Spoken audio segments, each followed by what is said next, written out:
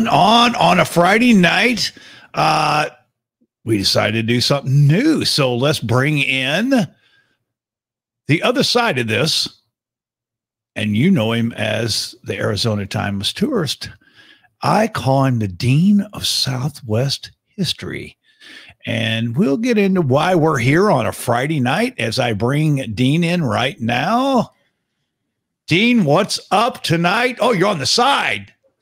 I don't know why that kind of looks funny like that, but how you doing, man? It almost looks 3D from my side. You look like absolutely phenomenal. And well, like 1080p, and you're like in the 4K. Well, I wouldn't say I'm 4K. Well, I am 1080 though. And there's Valerie and there's AH. We've got a few people. We've got three people on here. And uh, do you want to tell them why we're here or you want me to?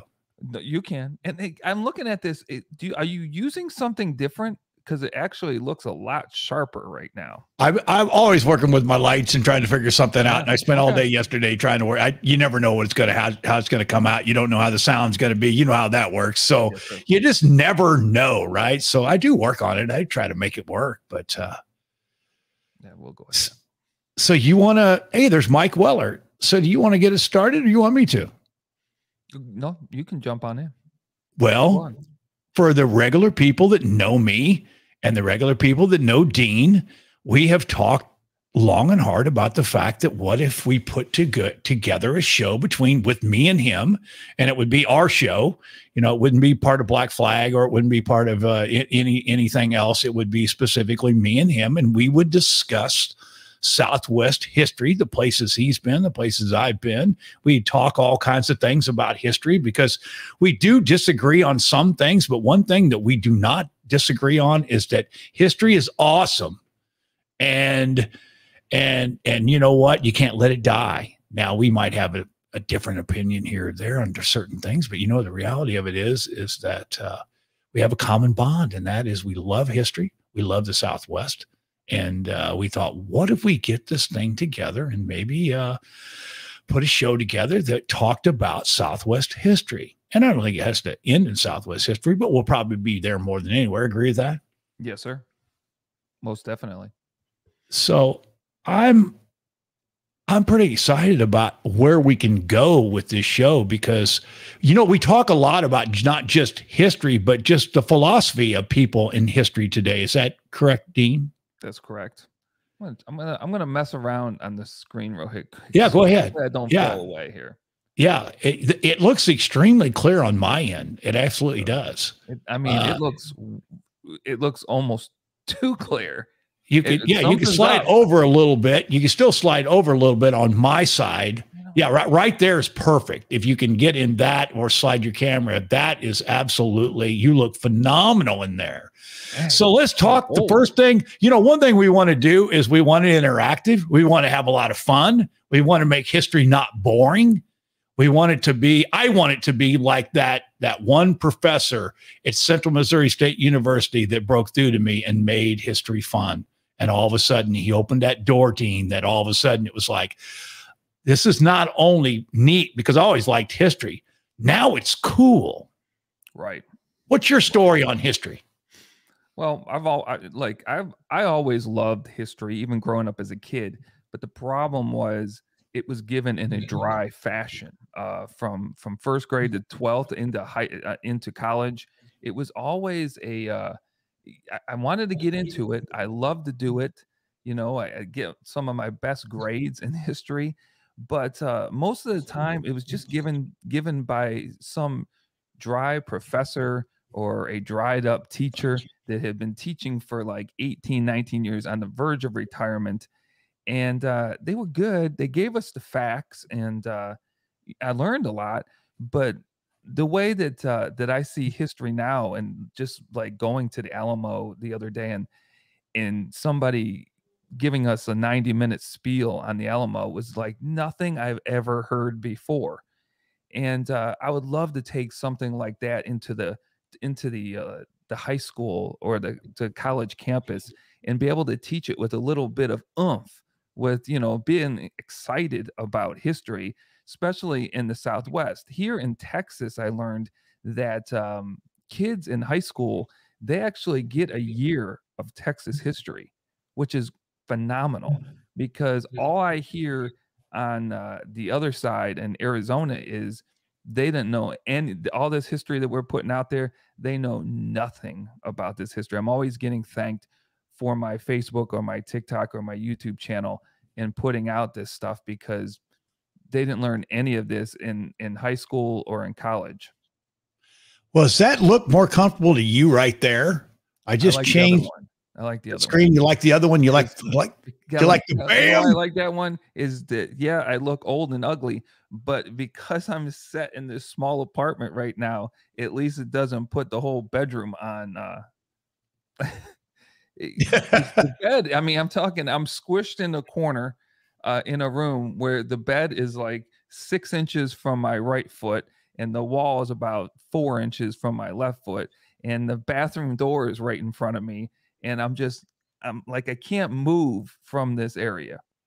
So well, we'll put it how however you're most comfortable. It's good that we do have options like that, and we do have options there.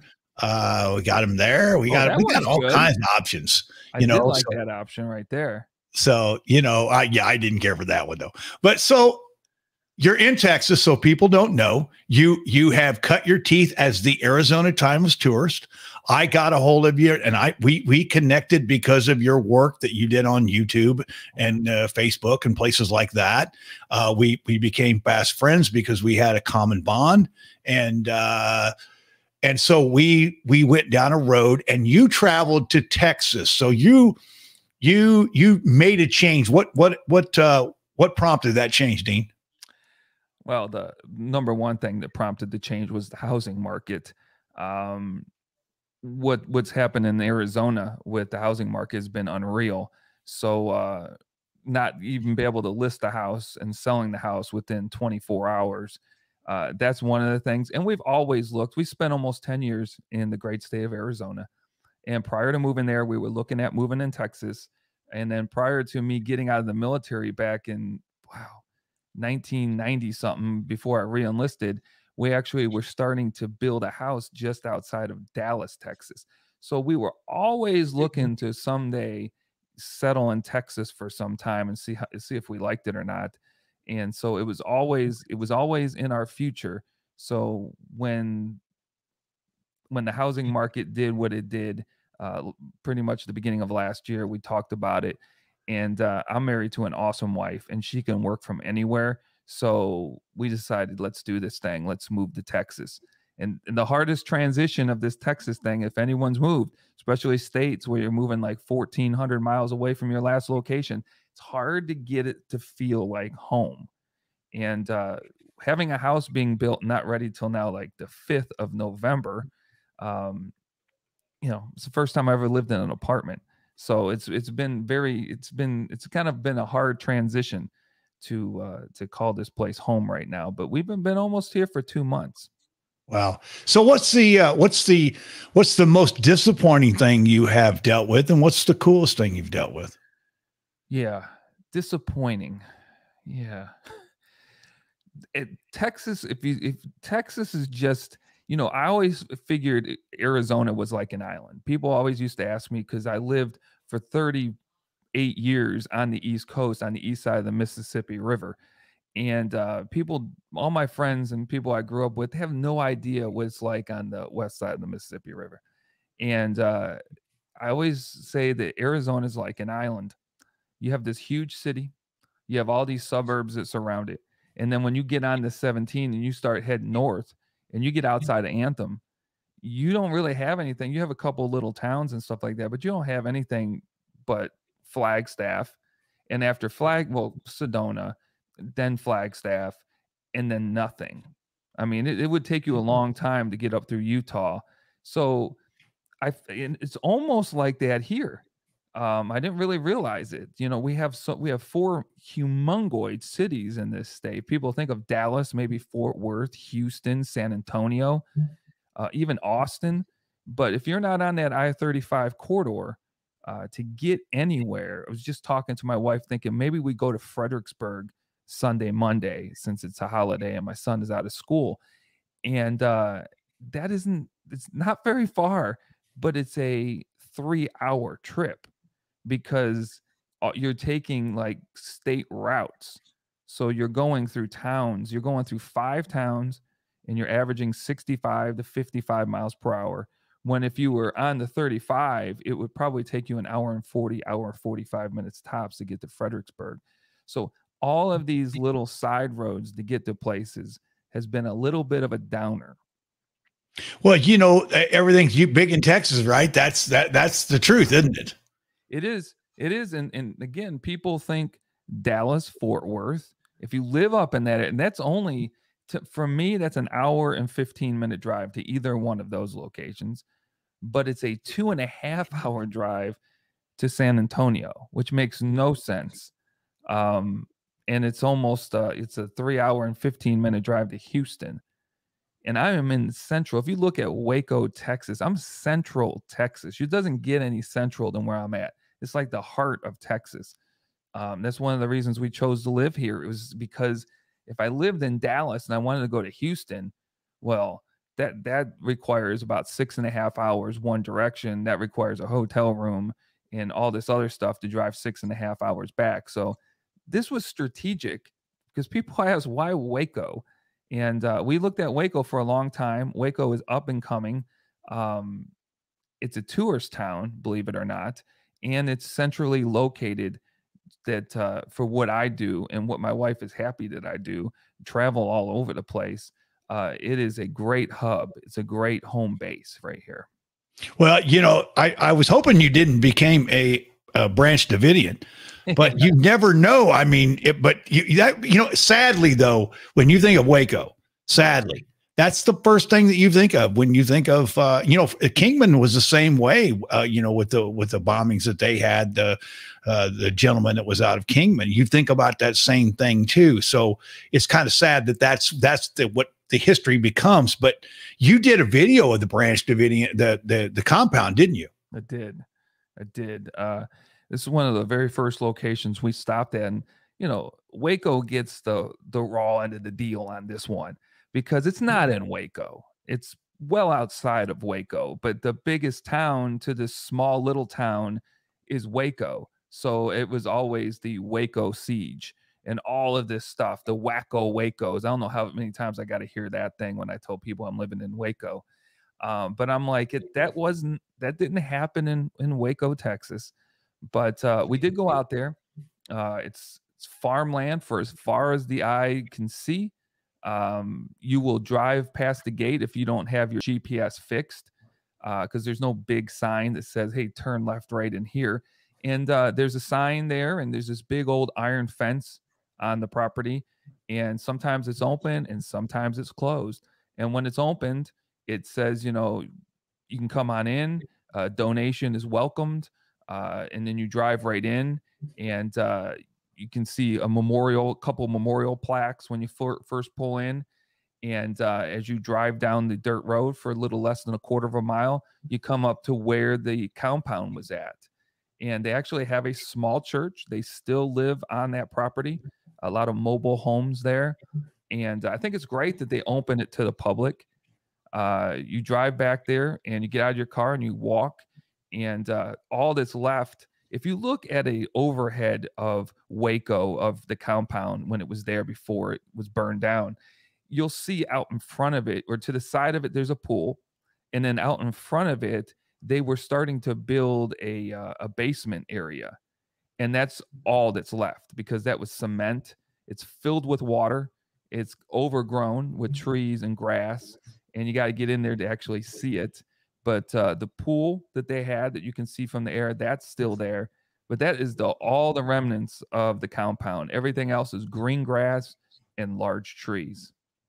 It's incredible that that story so how long ago was that? Do you know if i think that um was that uh I'm, I'm thinking 25 years I, wow you know that's funny thing about this stuff when you think about you know how fast history goes and how many generations and things like that when you look at these things that you know whether that be jfk because i was in uh, i was in i think third grade when jfk was killed something like that. Uh, i remember being in school and i remember the teacher t- talking about that.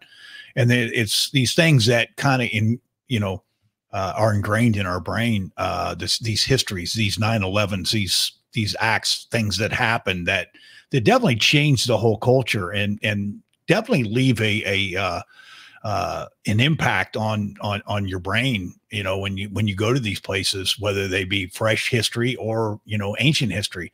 Uh, the Alamo. Uh, really quick, it's uh, 28 years ago, so 19 April 1993. Wow. Two years after I graduated from high school. That's crazy. It's crazy to think that because you can remember it in your brain when you remember seeing that, and, and most people saw it on TV. There it is. AH has got it. Uh, February twenty eighth, nineteen ninety three. You know, it's it, it really is. It's it, it's unbelievable that that stuff happened, but uh, it it does it, and then that's what makes this history, right? That's what you know that that you know in a sense could be considered. To, well, I won't even put the comparisons together, somebody will jump down my throat. But the reality of it is, is conflict, right? There's a conflict, right. and and and the Alamo was a conflict, yes, and was. and you know, how incredible was the Alamo to when you went and seen it? You know, if you if you go there as a tourist, you know, as as somebody who's not really familiar with the history, and because I posted a couple of TikToks on this, and a lot of the comments I got was I went there years ago and I was disappointed. And I can see how you can be disappointed because when you when you think about the the Alamo and everything that happened, and maybe you have some pictures of the fort and stuff like that, what it looked like back um, in 1836, 1835, or the early or late 1700s, uh, you see this pretty mammoth fort. And uh, they have that that church is really not it's it sits in the back uh, built around the 1740s and um, it, it's it's way in the back of the fort. I bought an overhead shot while i was there. And uh, you, so you're looking at that and you're thinking of the the siege and the battle of the alamo and that really played no really significant part in it other than the 14 women and children that took cover went into one of those rooms in that chapel and they were their lives were spared at the end to go out and that's how we have all of this uh, documentation of what it looked like after the siege not during the siege. So when you go there if you don't really understand what you're looking at uh, it doesn't the it, it's it's the uh, most i mean 98% of it's gone 99% of it's gone so uh, thank goodness we talked about the two women that saved the Alamo. Uh, to your left, you have the long barracks, what used what used to be the convent uh, back in the 1700s. You have that portion left, and that's where a lot of the fighting happened. That's where they say uh, James Bowie died in his bed uh, as he was suffering uh, during that conflict. So, it it the reason I would tell people to, if you can afford it, pay the money for the tour, the the big, you know, expensive tour for 90 minutes and let them lay out the actual site for you so you can see how big the area actually encompass there and then you'll get a you'll get a better idea. You know, I there's so many of the heroes in in in western lore you know, we're at that location. I mean, these people that you know that you know made massive uh, impacts. I mean, when you look at these these different individuals, the Davy Crockett's and these and these guys that uh, are they're ingrained in our history. I mean, they were, you know, these guys were superstars in the sense. It, it, the fact that we know these guys today is incredible to me that we still know them. And then a lot of them, that's where they left their uh, their last mark on this earth. But uh, it's it's an incredible place. So as I understand the Alamo, uh, it was it was uh, at that point it was not in America. It was in it was in Mexico. Is that correct That's to assume correct. that? Yes. Yes. See, it it really it, you draw a comparison with with how the Revolutionary War went. Okay, we're British subjects, uh, we're subject to British law, you know, and uh, some people will say we should have never been able to do what we did. Um, and we we were we were fine under British law. We were fine to be British subjects. The thing was that when they started getting taxed and when they started getting treated not like uh, uh, royal, you know, British subjects at the time, that's when they started rebelling. And Mexico had a constitution. And under that constitution, it gave certain rights to the people who were settling the land there. And when Santa Anna took over, well, he he he you know he he became a what, what we know today as a dictator, and he didn't follow what the uh, the Constitution was that these that these people that came and settled in that part of Texas had under that time. He made a whole new set of laws, and they rebelled against that. Some people are like, well, how you know it was it was Mexico's land. Mexico owned it. True and uh, they had to uh, they had to abide by the the Mexico Constitution. True, but uh, Santa Anna came in and pretty much did what he wanted to do. So that's why they rebelled because Mexico held that uh, for a long time, held that uh, the Alamo, and then um, the the uh, uh the I'll call them the Texans at the time. They came in and and regained the Alamo. They kicked the Mexicans out of the Alamo. And that's what got Santa Anna so ticked off that he decided that he was going to go and retake the Alamo. So, yeah, it was that's a long story, but yeah, it was Mexico. It was their territory and that was their property. Well, you know what's incredible, and we talked about this, and and and and the the the, the history of of the border is such an incredible thing as it started to move back and forth. And, you know, even when you talk about the Oatman Massacre and you realize that, well, at that time it was in Mexico. You know, the Oatman Massacre was on the line of Mexico and the United States at that point. And Casa Grande, uh, the big house, at one time, that was basically the border that went across. So, you know, as it floats back and forth, you know, when I was in Las Cruces last and I was on that, there was, a, there's old Las Cruces there, there's the old town which which was the original town, and it was kind of cool. I met a couple guys that but were pretty interested in history, and they were telling me that the frustrations of the people of, of that area at the time was because one morning they'd get up and they would be in Mexico. And then the next morning they'd wake up and they'd be in the United States. And so, do you want to be an American or hey, you're you're you're you're from Mexico? well, I don't want to be from the United States or whatever, vice versa. But because they used to bounce that that border so often, you know, one morning you'd wake up and and you may not own your property. I mean, it would very be very frustrating to those people that were there originally uh, to try to figure out what in the hell is going on here. I mean, it would be a tough, tough deal. I, I could see that, you know, for all different sides, you know, not playing one side or the other. Right. No, I'm with you. I'm with you. Even the guy who was giving the tour is like, look, uh, they were coming back to take the fort that they got kicked out of by these little colonists, and they came in, they kicked them out, and made sure that uh, they sent a message. And being the brutal individual, and the uh, gentleman who was giving the tour was Native American, and it was interesting listening to him give the tour because I wanted to see what he was going to say.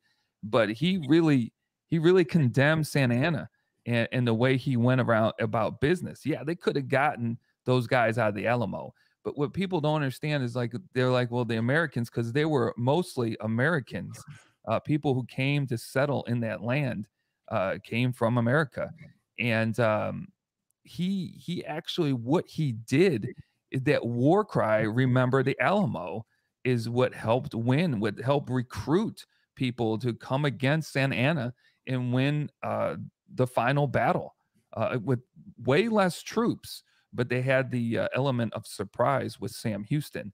But um, what he did by killing every single person and not taking any prisoners, even afterwards, uh, there are plenty of written documents of the, the women uh, that were in there stating that uh, there were a few people who tried to surrender at the end and uh, they waited for their commander to come in and he said we take no enemies and within seconds they either ran the uh, the bayonet through him or they shot him it was all done and said and done he wasn't going to take any any prisoners he was he was absolutely brutal and his commanders uh, also have uh, written things I, I got from a book here, uh, documentation.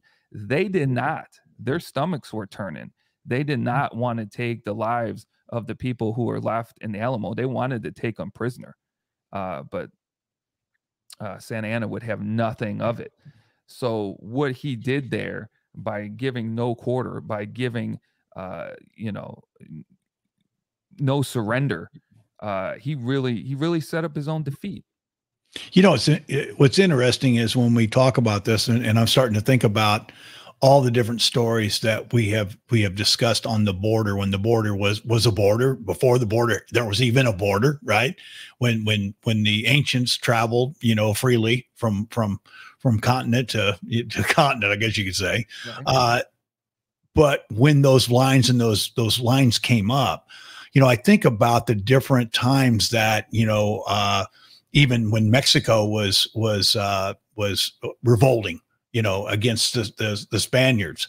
Uh, I think about the the Apaches when they used to travel. They didn't know borders. They didn't care borders. They, you know, they fought different people. Well, these these are the Mexicans and these are the cavalry, but they didn't really see a border as as anything that they that they were a part of. But the borders changed, and again, the Oatman massacre. The one of the problems they didn't know what to do because they thought it was in Mexico so they didn't know who had jurisdiction. Well, nobody in the United States. So that's what caused them problems at the Oatman massacre. But you look at that border, how it's bounced back and forth for so long. And uh, it is inc- it's incredible story. It really, even today. I mean, you you you fast forward today, the just all the stuff that's going on on the border has always been going on from the first time that they said, "Hey, this is my side and this is your side." Right. I mean, yeah, you're right. You, it, it is amazing how it how it all shook out there at the end for Texas, and how they won their independence uh, back in uh, 1836. It it just um, again, it, it, we've had problems with the border forever. Uh, there are ways to fix that, but we won't get into that. But uh, yeah, we've we've had this this this this strife uh, with each other for I mean, I don't know how many hundreds of years. So Tom is talking about a, and, and all of a sudden this came to me. Uh, but real quick, I do want to tell a quick little story before we get into that from Tom. Is that William Randolph Hearst? You know the the the the guy that invented yellow journalism that has San Simeon that you know is a you know a was the guy when it came to uh, Hollywood, and the guy that came to uh, owned all the newspapers, whose dad was a was a millionaire, and uh, they owned a ranch in Mexico, and it got overtaken by the Mexican government, and they actually got together. Uh, all these characters, some movie actors that played cowboys in movies, uh, uh, some of the Rough Riders, and they actually went down to that ranch in Mexico and took it back. But then they realized that they had to sell it because they were not going to be able to control it. Now, the great thing about it was they sold it back to the Mexican government, and the Mexican government actually allowed people to come into Mexico and become uh, farmers. Uh, if they would give you land if you came there, and that's where the the big Mormon population started in Mexico uh, in that area because of that open call if you want free land. And it's really, I mean, and that was the William Randolph Hearst Ranch, which was spectacular. I mean, the greatest, the greatest land that, that money could buy at that time in Mexico. So you just get these little tidbits when you start putting dots together that I just find fascinating. I really do whether you look at Hearst's dad being the guy from uh, from Virginia City that scored the goal or the the silver that then built San Francisco, and then he built the papers, and then his son took over, and on and on and on. But I find this stuff just fascinating. Well, you know, and uh, other thing about land, you know, the reason Mexico wanted you know Americans to come and settle all the way down towards San Antonio is they needed a buffer against the Native Americans. And so they're going to throw the Americans, you know, come and get this land. Uh, you can work this land for so much, uh, you know, and, and come here. And they were going to buffer themselves. So that was going to help the Mexicans. And then, you know, you need people to settle land. Land is just land. I mean, if you ever travel throughout, especially New Mexico or Texas, land, there's a lot of land. Now, people own all this land now, but doesn't seem like it. But there's so much land. And they needed the Americans to come with their families, with their friends, and start settling these areas. Because if they didn't, they they would be nothing. It would just be barren land, and barren land produces no money, and it, you know it produces no taxation, and uh, it can't be ruled. So it, it's just interesting if you look at it because there always tension, uh, especially on my social media pages when I post something like this from people who live in Mexico, believing that their land was stolen from the Americans back in the day. And I was you know, if you if you just look, you know, Santa Anna being the tyrant that he was, he was um he was he was absolutely terrible because when they caught him, America wanted to execute him. Uh, but Sam Houston was like, no, we got to we got to have a talk. And that talk was to give up the land.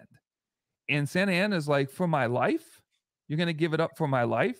And he's Sam Houston's like, yeah. And he signed away he was the president of Mexico and he signed away all that land so he can turn around and hightail it back into Mexico and try to be the hero. But he was just trying to save his own life. And when you look at guys like Travis, William Travis, who people look at his personal life and start trying to shred him because he was divorced. And we live in a day and time in 2021 where divorce rates are like 70%. Um, this guy writes letters and dispatches out of the Alamo at the point three to four days prior to uh, you know Santa Anna coming in and the patriotism. He wrote the most patriotic letters in history and the bravery that he was going to stand there with less than 200 men, face 5,000 Mexicans, and say, Look, I'm going to do this for my country and for myself because you know real men don't run and we will fight to the death and they knew it when they were coming over those walls on march 6 1836 that they were going to die and they actually imposed so many casualties on the mexicans that it looked like mm-hmm. mexico lost just you know they, they were they estimate like 257 now men were in the Alamo. Back in the day, they believed it was 190. But uh, when I was there, they have them on the on the plaques, and they were like, they believe that the, the correct number is 257 people in there against 5,000 plus Mexican troops. So the the the Santa Annas of the world and how he led and, and what happened to Mexico, and then the the William Barrett Travises of the world it's just a it's just a huge um there's a huge difference there and the way it mm. turns out for both sides it, it's it's by their leaders. He's like uh he's like to me a george washington of his time. You know it's amazing you just said that. I forgot that the the mexican government lured those people down to, for the buffer against the apaches I forgot about that. You know, I forgot about the reason they said, hey, and what's so crazy is, you know, Tom was wanting to know about that German family with family that the massacre of four girls survived and they were found some years later. That I believe is one of the farmers or ranchers that came down that story I think is tied to that free land grab, and it was the Apaches. I thought, you know, he said somebody else, maybe uh, dog soldiers or something like that, but uh, well, Cheyenne dog soldiers. But that was that. That's one of those stories, isn't it? Because w- w- the big problem back then was we wanted all of this expansion, and uh, what we didn't do. We discussed this on another live before. Is we didn't send our soldiers ahead. You know, we just sent people, we just send families into this unbelievable wild wilderness full of Comanche and everything. And we send them in the middle of into Texas where there's nothing for, you know, 50 to 60 miles to a Presidio and there's nothing around. There's no help. And these guys are you have you got a family, got a mom and a dad. You might have four or five kids with an aunt, and you start building a cabin, and you have no fortification. You have nobody to help protect you against the Native Americans out there, and people were getting slaughtered constantly, absolutely constantly. That those stories are, are, are almost I hate to say a dime a dozen when it comes to human lives, but people were getting. I mean, you know, they would they would they would come on their horses 15 to 20 at a time and they're against mom and dad and an 8-year-old and a 12-year-old and an old grandma what was going to happen so um they really weren't thinking right when they started setting families and settlers out towards Texas and even anywhere uh, you know, in the Midwest. They weren't thinking they should have sent the military ahead of them, set up some forts, and then brought the American people out there. Well, it's amazing though, as you think about that that whole concept of of the whole expansion, right? And you can go back to whatever date you want to put on that, 1830, whatever, on, and that expansion of all these people coming right? All these people coming from the from the East Coast to to heading heading west to the to the west or the southwest, and and the and the trials and tribulations that they had. It's almost kind of reminds me of the Civil War, where all it was was they're just the attrition. How many people can you throw at them? And they're going to keep coming. You know, they're going to keep getting off the. You know, the story about the uh, the uh, the Irish who would get off of the boat they would say, hey, if you're going to be an American, you might as well die for the country if you want to be an American. So sign your paper, put on this this uh, this war, uh, grab this musket, grab this gun, and head to the front line. And a lot of them ended up that way, and they went from the boat to the grave. And that was just what happened. But that brutality of the whole the whole transition of the Southwest is absolutely I mean, it's astonishing when people, we talked about this. People want to put their minds of what they think today and say, well, that, you know, I want to relate that to 1700 to 1800 to 1900, whatever it might be, right? And it's impossible to do that, isn't it?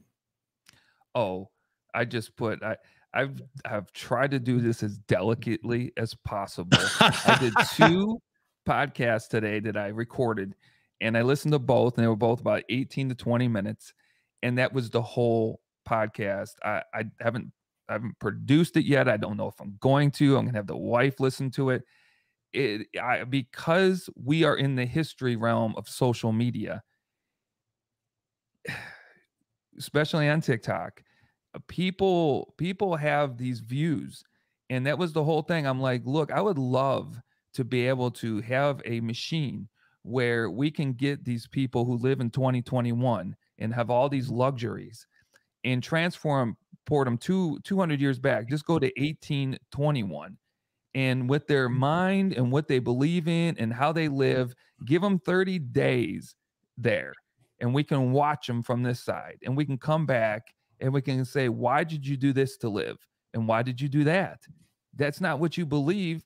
And then maybe be able to transport them where they don't remember anything. They don't have a, a fixed moral or or these high values that they hold today in 2021 and put them in 1821 put them in 1721 and then play it out on a movie screen for them when they come back and say why did you live like this?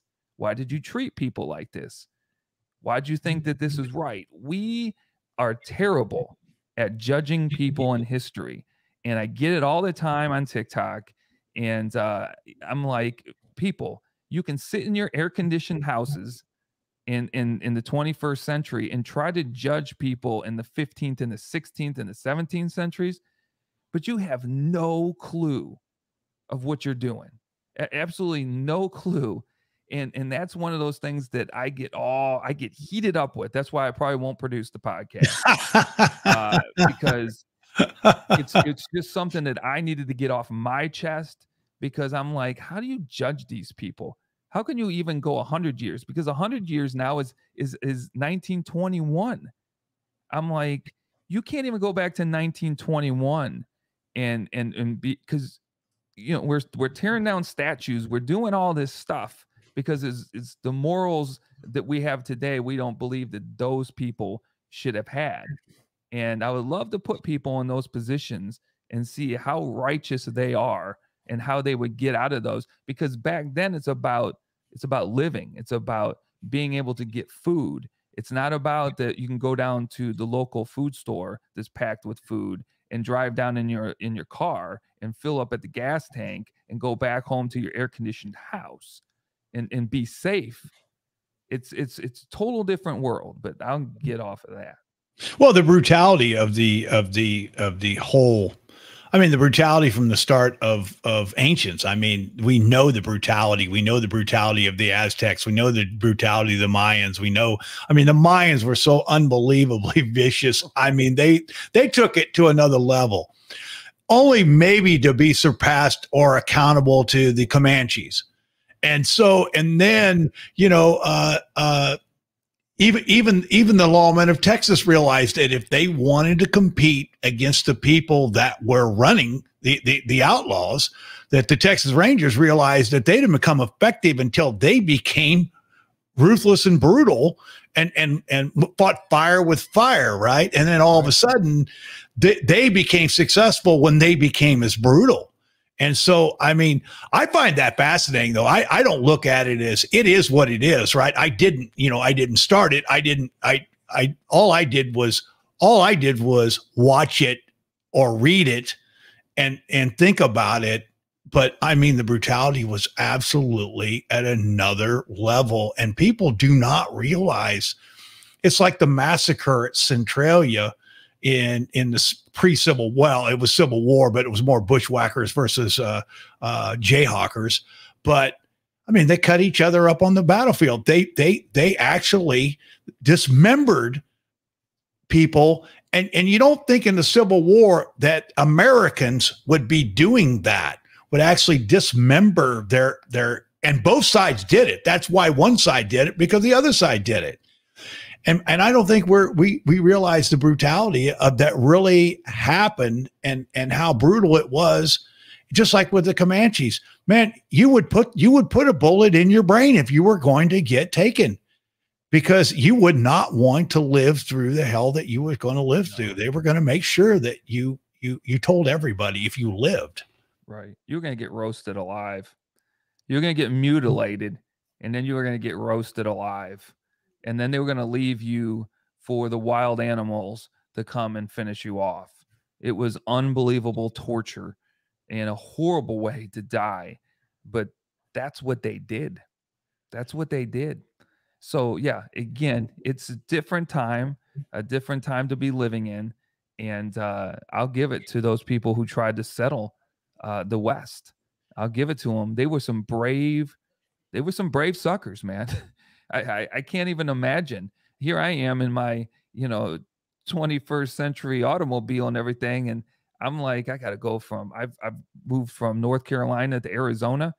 And the first thing I did, I said to my wife, and I can bring her in here and she can vouch for it. We got in the car with all of our stuff and we sent the other stuff across the country and we're going to drive and we're leaving the house. I'm looking back and I said, Can you imagine can you imagine living in the days when we have all this crap on a wagon and I'm out here, you know, getting these horses rolling and we got a 2,400 mile trip as it is, and it's only going to take two and a half days at the most. But these people are rolling through the Apache, uh, they're, they're rolling through the Appalachian Mountains. They're going through unbelievable terrain. And it's not just the terrain that they got to go through, they got to go through every native group to get through. And then they got to go through robbers out there to get through. And I just, and it would have taken, I don't even know how long that would have taken. But here I am complaining when we're leaving. Man, I got a two and a half day trip here on beautiful highways. I roll right up through the mountains with no problem, way down. And uh, and I get out here in two and a half days, 2,400 miles. What these people must have done to leave like North Carolina back then to come get their land out in Texas. That that's just absolutely crazy. But you know, I was big into independence, right? Where where the Missouri River came, it came from St. Louis. The river goes to Missouri, and then it goes north from Kansas City up. And so they would take the boats in, uh, the steamboats into Kansas City, basically, and then they would they would gather their stuff. They'd either leave out of St. Joseph, Missouri. They'd either leave out of Independence, Missouri. These were people that weren't necessarily equipped, that did not realize the the the physicality it was going to take to go do what they were going to do. Most of them had never even had a wagon. A lot of them had that came out of New York and places like that. So they weren't like farmers. They didn't realize what they'd never driven a team of oxen. And so when they they were there, you said it there, you said on the square at Independence, and you just realized that, you know, they they would talk about there was 30 languages 40 languages that were going on at all times. There was there was nonstop blacksmith shops nonstop building wagons nonstop trying to train the oxen uh, before they got out. And then it got to a point where they trained them on the trail. So i mean they didn't even break them in before that because it got so bad. But every day these waves of these people with these dreams and, and one thing they had dreams right? They had to. I mean they were willing to put the gun up to their head in, in a sense to go, I'm, I'm, I'll risk my life. I'll risk my family's life to whatever future I think is better than where I came from. And man, that's the story, right? I mean, yeah. it's incredible. It's all about the land back then. It's all about growing crops, building a house, and working the land 24 hours a day, seven days a week. And to get that much land to be able to do that. But yeah, the the grueling road to get to where they were going, then to get off, you get in the shower and sitting at the Holiday Inn Express, you're getting off the wagon. And from day one, now you got to try to build some shelter for your family. And then when you finally build that shelter, now you got to get out there and plow that land. It's it's an it's an unbelievable time. I give these people all the credit in the world. Uh, because there's eh, you know eh, like my wife says sometimes when we get in the car oh, i thank god for this air conditioner. I'm like yeah but you know what? If you were born in 1821 you had no idea what air conditioning was. You had no idea what how spoiled we are. So you would you would be fine in 1821 but these people were unbelievable. They truly were well, you know, when they started to talk about, if you get a chance to go to Independence, there is a, uh, museum there that is fabulous that talks about the fact that, you know, all the, a lot of the major trails came out of Independence and St. Joe, which is an hour north. Uh, but you really don't realize, I did not realize how brutal it was, even on the wagon trains. And you were destined, you know, if you've seen that one video I do of the Vaile Mansion, well, that guy made his money making maps for these people to follow to to go go west. And if you didn't have a guy you know that was uh, uh, the wagon master that was going to guide you out there you were in trouble. I mean you couldn't just get on it and go. And uh, i had a phone call there but uh, you you couldn't even you couldn't go uh, you, you know, you just couldn't leave there and go, oh, okay, I'm going to become, I'm, I'm going to grab wagon and head out, you know. And then they would talk about the fact that there might be three different parts of the wagon train the front, which would be the premium, and then the middle, and then the back. And by the time the back got to the water hole, it might be gone, or there might be dysentery, or, you know, all these things, or there might be a section that had some type of, of illness some type of flu, some type of uh, chicken pox, some something that you know. I mean, this was just part of the journey on the on on this on this unbelievable, and not knowing what you're going to get when you get there either. No, not knowing that you know what part of, you know if the family was going to survive the trip. I mean, I can't. As we sit and we talk about this, I can't even imagine it. I, I truly, really can't uh, what these people did, and they don't get the credit that they deserve. Really, what they get is condemnation. They get they get uh, you know the modern uh, the modern American uh, telling them that they didn't they didn't do something right, or you know they treated a certain group of people bad, or you know it's that's all I ask people is to just before you make comments like that, is to just take a breath for just a second. I know we live in a world of social media where everything has to happen now and you have to have the hot, you know, the hot topic or the the hot comment so people kind of go to your post. Take a breath and think about what you're going to say and maybe put your put yourself in these people's shoes and then and then make the comment. If that's the comment that you think you need to make, then go ahead and throw it out there on social media. But we see today people want to run their mouths, but most of the time it's to get views and hits and clicks on social media. Well, you know, uh, a lot of the problem also is that we are completely brainwashed on what the West looked like we see this certain group of people and we think that's so because we've seen movies, right? You see movies and it gives you this look or this feel that this was the way it was. And that is so far inaccurate about the different groups of people that were in the West and the Southwest and all these different groups of people. Now, I'm not saying that some of them weren't discriminated against, but they were here and there was a lot of them. If you look at that, uh, when I went to the Fort Las Cruces, which was really cool, uh, that was be that got occupied by the Buffalo Soldiers right after the Civil War. So they sent the Buffalo Soldiers to that fort. Uh, and that's where they worked out of to start try to control the problems they had with the with the natives. And so all of a sudden you don't think about this regiment of of black soldiers that are on the south, you know, in the southwest in New Mexico, and you don't envision that for some reason because you didn't see that with John Wayne, and you didn't see that with, and you know, one of my favorite stories is is is Glanton. Now it's a horrible, vicious story, but what I love about it is is that John Glanton was a scalp hunter that worked for the Mexican government. He got paid for for uh, killing uh, Apaches and scalping them. And so he would turn a scalp into the Mexican government and they would pay him and they would pay him for men, women, and children. Now, wh- what I find fascinating about this story is he had like 35 guys that rode with him, every color, every description. So here's this group of these just unbelievable, vicious, brute, brutal people but there was there was there was Spanish, there was Mexican, there was black, there was native.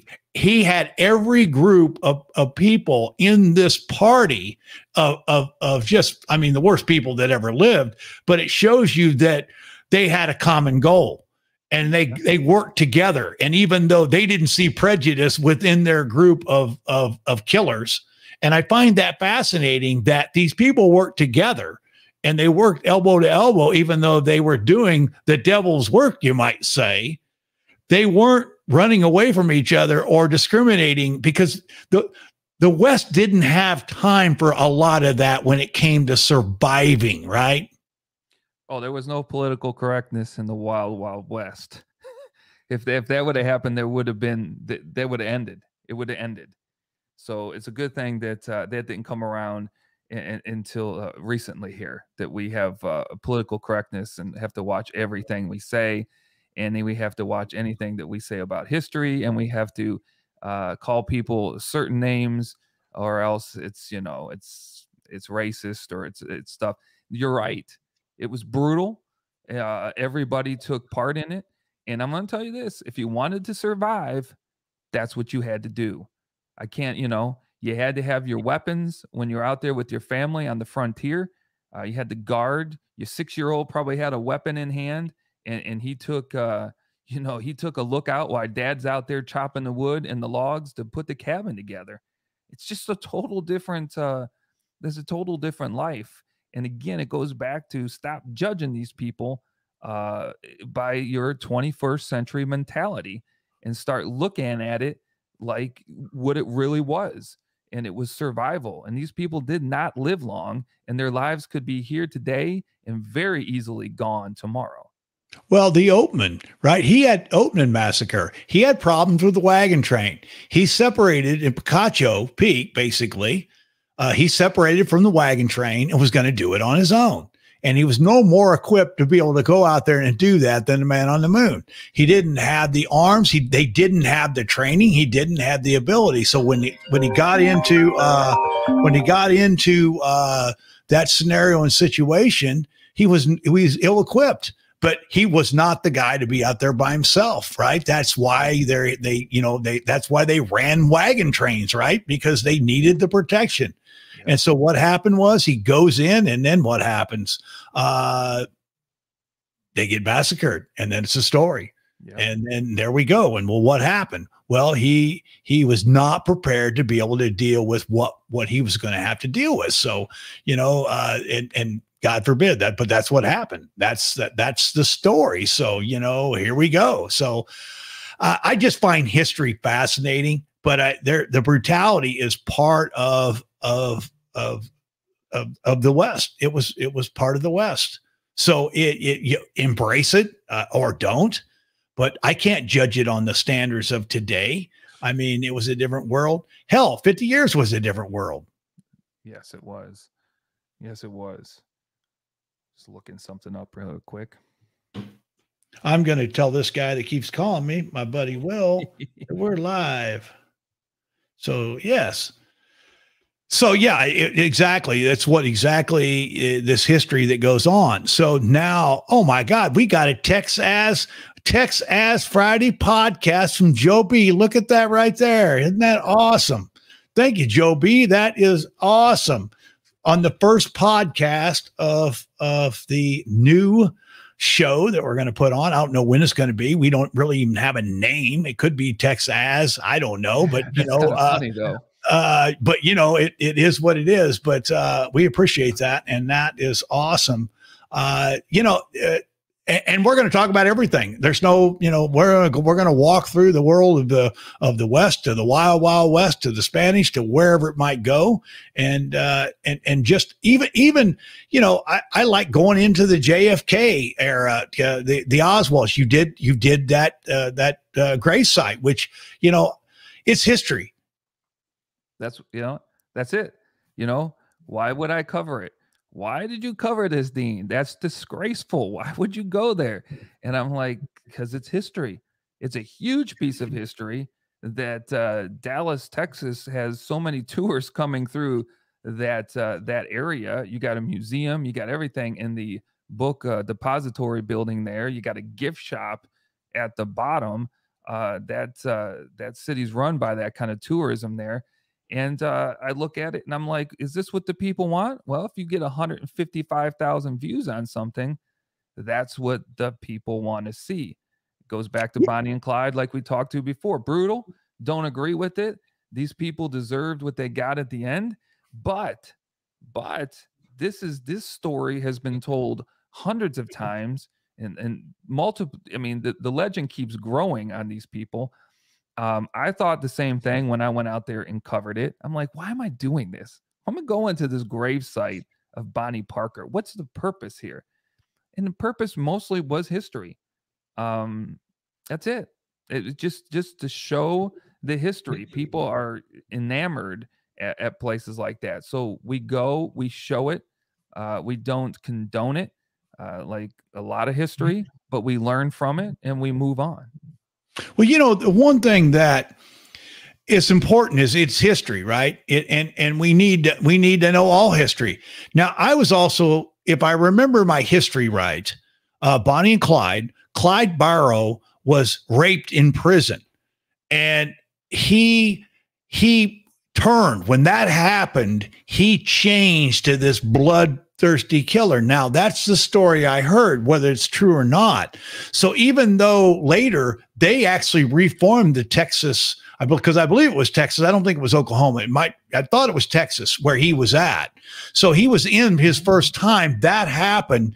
It changed him into this, just this animal, right? He turned into this ruthless animal. And so that they, after he was killed, they actually went back in and changed some of the ways that they did some of their prison stuff to try to make sure that that kind of action never happened again because they believe that's what created this guy. You know, he just became a bloodthirsty assassin uh, lashing out because of, of the wrongs that were done to him. Now, whether that was right or wrong, we're not discussing that. It's definitely not right. But usually there's a story, and, and that's what history is, right? The story. That's all it is. Just telling you the story. And uh, it, you know, it's it's interesting. It's interesting to to you know to to go to these places like the gas station that that they used to run, the family used to run is still there. It's not in the best part of town, so I chose not to go to it. But somebody uh, that I watched a video on has gone there. It says private property keep out, but it's like this condemned gas station. Well, there's a reason the gas station still standing on that piece of property right there because it's a piece of history. And because they could easily knock it down, uh, stop all these people uh, from out of town coming to this location because again it's not in the best of places and uh, eh, they could clean it up but they leave it there because it represents uh, a piece of history that uh, that a lot of people like to go and check out you know we we talk about this but i don't think we talk about it in front of people that are watching this stuff as well so the conversation that we're having going to have right now or i'm going to at least throw this out is that we talk a lot. Me and Dean talk a lot about what you guys want to see. You know, what does the audience want to see? And so we look at that, and what we look at is is is is uh let me let me see how I'm going to put this. How how it well, I'll put it because because we do this. I do this for fun and stuff, but I, I need to get something. If I'm if I'm gonna if I'm gonna put like uh, going to the Alamo, if I'm gonna put two days and spending a time in a hotel and going out and filming and doing all this stuff and this expense and and trying to build something, you want to make sure that people watch it. You know, it's not uh, for your ego or anything. You want to get something out there that says, okay, this was worth my time to to take a two and a half hour drive to pay for an overnight stay at a hotel to put on 10 miles worth of walking all day long and then to drive two and a half hours back home and to put this stuff together you want to make sure that the time that you're spending the valuable time that you're spending trying to grow something is what the audience wants and ever since i moved to texas uh, i've put that into my mind because i go back over some of my older uh, TikTok and YouTube videos, and uh, they did okay. But when I really focused in on Bonnie and Clyde, on JFK, on Oswald, on uh, some of these famous musicians, uh, the Buddy Hollies of the world, and the um, uh, Stevie Ray Vaughns and stuff like that, these grave sites, people want to see that stuff because they're never going to make it here. And so that is the stuff that seems to be the stuff that people are clicking on. So you want to make sure that it's worth, you know, my time and then it's worth the time of people like Joe B to click on it for 16 seconds and say, mm-hmm. "Hey, that was worth 16 seconds of my life here to see this little piece of history of Texas." Well, you know what's interesting is that uh, you know, when we talk about that, it's these brutal histories that usually are the biggest draws. So it's the violent. It's the it's the uh, it's the uh, uh, Branch Davidians. It's the it's the Bonnie and Clyde. It's the you know it's this violent stories that actually seem to have more draw. And you know, I mean, I, I I'm interested in all of it. I mean, I'm attracted to all the different history from all the different eras because they they definitely they they're basically telling us what uh, what the uh, the litmus test was of the way our morality and the way that we were living our lives throughout the, the, the history is is is right there in front of us through the brutality, right? I mean, that really is the, the litmus test to how well we're living our lives in a sense. That's that's what I think. Yeah, again, it just it goes to I'm I'm just bringing up some of my things. I'm looking at it and uh, I got the William. Who would ever think the William Claiborne grave and tombstone? All right, William Claiborne. He's sitting at 717,000 views on That's a 14 unreal. second video on this guy that on his deathbed, you know, he confessed to who killed Johnny Ringo and or who he, you know, he he says who, you know, he, Frank Leslie, he says, kills Johnny Ringo because Johnny Ringo kills him. But people, when I put that out there, I put that out there as I had no other content to put out there, and I was filming everything in Tombstone. And I started looking at stuff like that, and people were just again, it's not one of my favorite places. Is Tombstone like your Superstition Mountain stuff? It's not. It's it's to me. It's and I'll say it right here. It's mm. overrated, and uh, but people love it. And I reposted tonight because I had run out of content and I like to post something on over the weekend. And I took that post from three months ago on that, and within one hour, it got six thousand views. So, and now within two hours, it's at 15,000 views. And people's comments are show us more tombstone stuff. Show us more tombstone stuff. They eat that up as much as I don't want to put it out there anymore. That's what I know people want to see. So you have to set that apart. I, you know, I, I love history as you do, and I'm learning it. But the stuff that I'm going to have to put out there is what the people want to see. Because if it's just for me, mm. then I'll just keep this stuff to myself and make videos for myself to watch every day. I'm trying to build a business and show people the country. And in order to do that, I got to see what they like, not what I like. Right. Well, and you know that's that whole deal is trying to find stuff that intrigues you as a as a person that loves history as well as finding that balance of finding stuff that's hist- historically uh, soothing and pleasing to you that other people are going to find just as just uh, just as intriguing as you do. Joe B put on there, uh, yeah. LOL. It's not like Florence. Yeah. You know, there's again, you know, there, there's these towns that have history, whether it is for Globe, for example, Globe and Superior both have some great history that you don't hear anything, but Tombstone bam, you hear Tombstone, all of a sudden, man, it's Tombstone because there was a movie made down there, right? That's really what it comes down to is that major motion pictures in the yeah. 90s blew that up. And it shows how important and how skewed history really is when you follow it through the uh uh the uh uh the movies, right? and mm-hmm. and it, it, skews it so badly because it's trying to do is is is uh it just skews it completely. It really does. I mean, there's no there there's no other way to put it. Uh, and like you would know, like I could I could run for mayor of Florence, Arizona. I really could. Um, you could more than the citizens that live there and the council people that that that are there.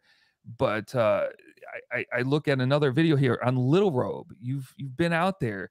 You know, it's everybody can go there, and uh, you know, but as soon as you throw the name Geronimo into anything that perks up everybody's ears no matter right. what you think about geronimo or you know how he lived his life or what he did people will will watch something that said that has any kind of title in it or is about anybody associated with geronimo well you know i was told that the uh that these these writers back in the day now we're talking about the tombstone era we're talking about these these these uh writers that would come out and they would make these dime, dime store novels and they would write these these uh, stories about these gunfighters and the people, I guess, on the East Coast just ate this up. And these guys were becoming unbelievably wealthy writing these fictitious stories. The only problem was people never believed that they were fictitious. And so when we look at our history, a lot of times we get it from two sources that are ridiculously poor and not accurate, and that is movies and that is these dime store novels. And they created this this whole environment that really wasn't true. And and one side was it is still a good story, but the problem is, it paints it in a in a in a, the West in a whole scenario that is completely false. Yeah, yeah. I mean, there are people. Uh, I'll take for instance, when I went down there, I wanted to go see the gravesite of Davy Crockett.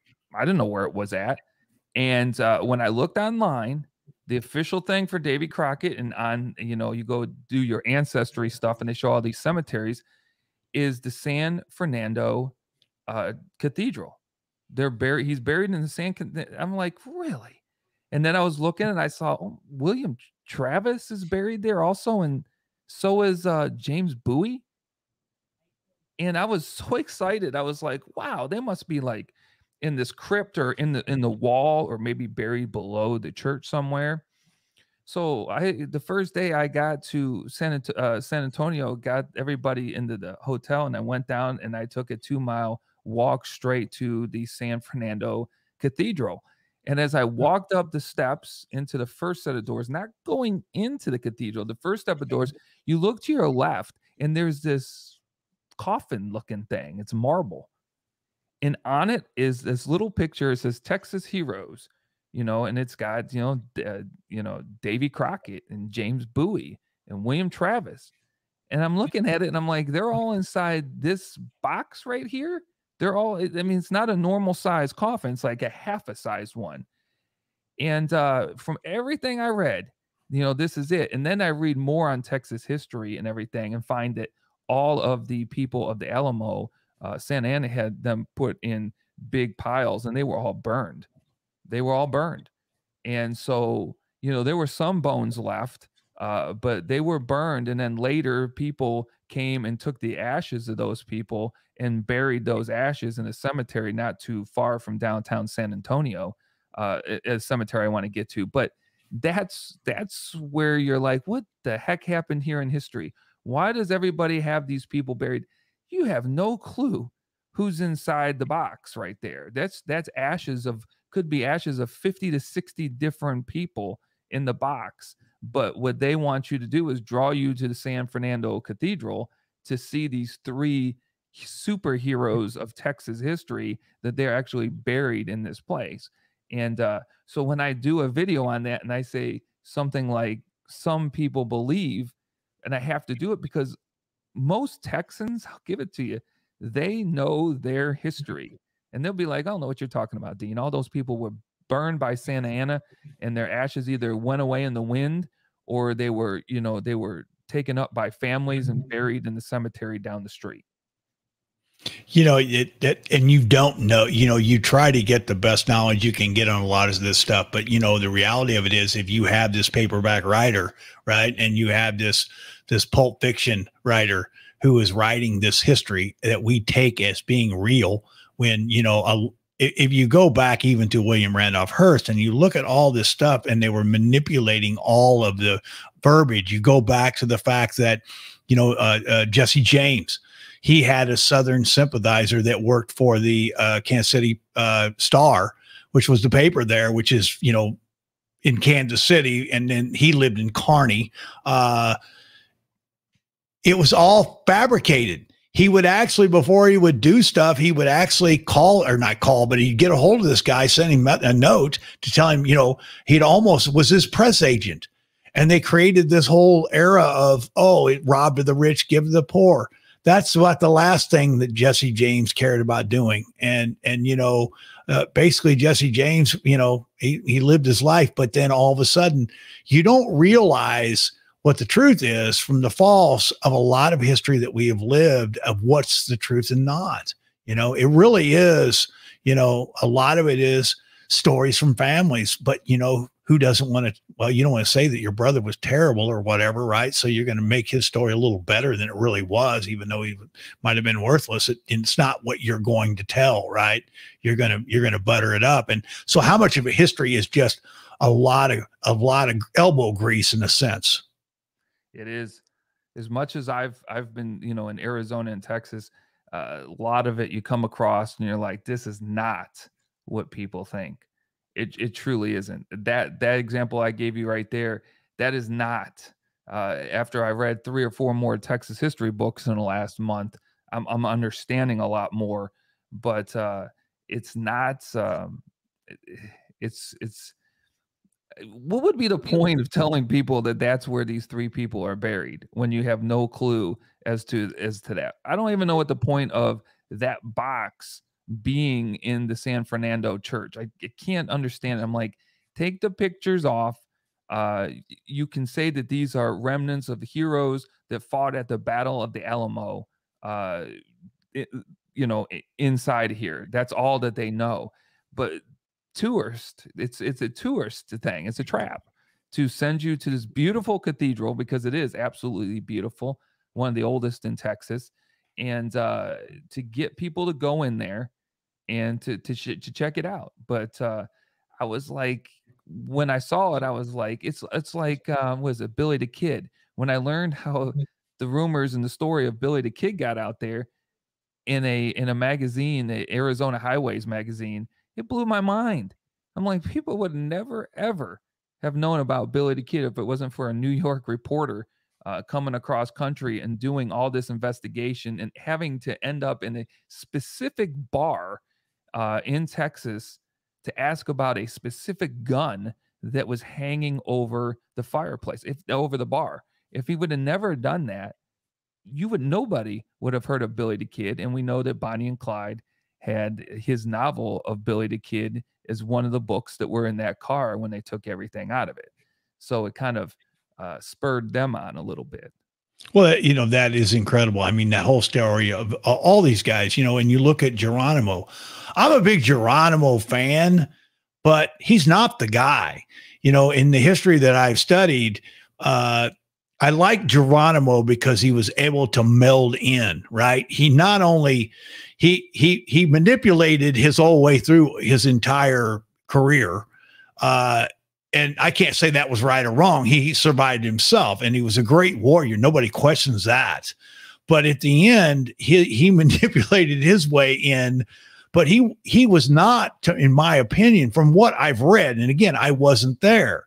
You know, he wasn't the greatest Apache chief by far. I mean, as far as his skill set, and and again, he was a he got the best press. You know, he went to the he went Saul Roosevelt. He there's so many things that that you know that he did, uh, and then to die drunk in the ditch.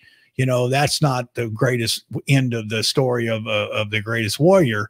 But you know, I don't look at that as being bad. It, it is what it is. I mean, he lived his journey. He he fought his battles. I mean, the fact that the guy survived that many battles is phenomenal. And one of the my one of the places on my bucket list that's not is to set on those rocks that he set on when he surrendered the actual rocks not the you know not the not the place where they say you know the monument is but the actual rocks. Because i you know i i, I still am fascinated by geronimo. The guy my, my heroes don't have to be perfect and they don't have to be good.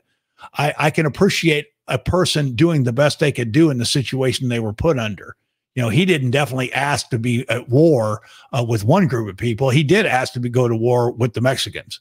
He did. He did prompt that uh, because it's what they did. But I don't look at that as being a bad guy. I don't look at that. The West didn't have black uh, bad guys or good guys. Everybody wore a beige hat in the West. Everybody. Some was a little darker beige, but nobody had a white hat on that rode across the West that that I've heard of. Have you? No. And uh, you know how I feel about Geronimo. So if I had to You're not chief, I would pick Cochise as uh, as the guy that I would be like, okay, this guy did it to the best of his ability. He tried to get along. He tried to keep his his people out of fighting the Americans and everybody else. He tried to keep his land his land. And then you have the Bascom affair that blew it all up. And that was going to be the end of it. But at least he and he was a fierce warrior, but at least he tried uh, to do something. Geronimo, yeah, we've we've had this discussion before. I've got nothing for him, nothing for him. But for Cochise, definitely, uh, I see why he did what he did. He got the raw end of the deal uh, on that day with uh, that young lieutenant that day uh, you just wondered what what history would have looked like. Would there be a, these Apache wars for that long? Um, if if you know this young lieutenant didn't come thinking he knew everything. Well, even Colorado, what what a what a, a, unbelievable warrior. I mean, these guys were ridiculous, and he was an old man at the end when those were going. That stuff was going down. He was not a young guy, man. He, I think he was seventy years old, something like that. Some something some eh, some estimated age though that would not put a normal guy out in the middle of a battle or or in this in this conflict like that but those guys were absolutely. I mean, I, I can appreciate just the fact that you know I, I don't I don't side with any of them. I don't side that well the natives got run off their land, and I don't side with the well the the, the Confederates believe that this side was right or the I, I, I don't care. You know I you know I look at all of them. I try to weigh it out, and I look at the fact they did what they had to do at the time they had to do it. Whether that's you know. Uh, uh, uh, the Sioux or whoever that is, or Cochise or any of these characters, and they did what they had to do. I'm not. I'm not going to judge them because I wasn't there. And again, they nobody had a white hat on, Dan. There was a lot. Now there was dark beige, and there was really almost blood blood beige. But you know, there it, it, it, it you did you did what you had to do to survive. True that. I'm with you on that. I, I, I, I am. That's why you you look at uh, the the judging of of history and the you know revisionists out there on history. Uh, look, it is what it is. I mean, I shouldn't say it is what it is. It just history happened, and that's the way it happened, and there's no changing it. And uh, we again, we've moved on, and uh, you know, in 100 and 150 years from today, uh, if this world's still spinning, people are going to sit in judgment of us. Well, talk about us and how we've handled the last two years and what we what what what's happened to this country and this world in the last couple of years uh, will will be sit they'll sit in judgment of us uh, good or bad. You know it's kind of like every battle has happened right? There's just duplications of battle.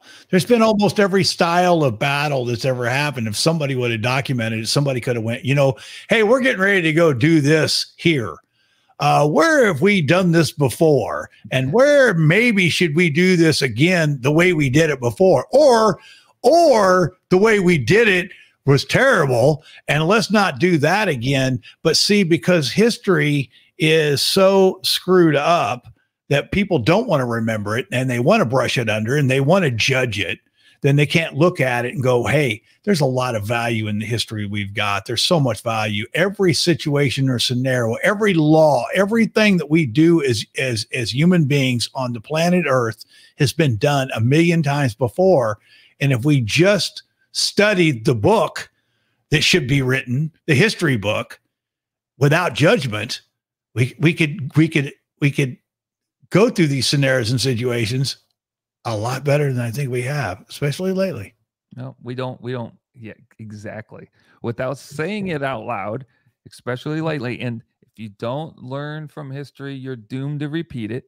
And I don't know what's wrong with mm. us. I truly don't know what's wrong with us because we repeat it and we repeat it and we repeat it and we love to bring it mm-hmm. back up so we can repeat it instead of just learning from it. Again, certain things horribly done, stop bringing it up. We've learned from it and we move forward and we don't do these things anymore. And uh, people just love to, to keep bringing it up. And like you're saying with wars, oh, we're doomed. I mean, we're doomed to mm-hmm. repeat. we're doomed to repeat something that just happened again. We won't learn. Uh, we won't learn how every other country in this world can't can't win a certain place and we'll go back because we we won't learn from our history.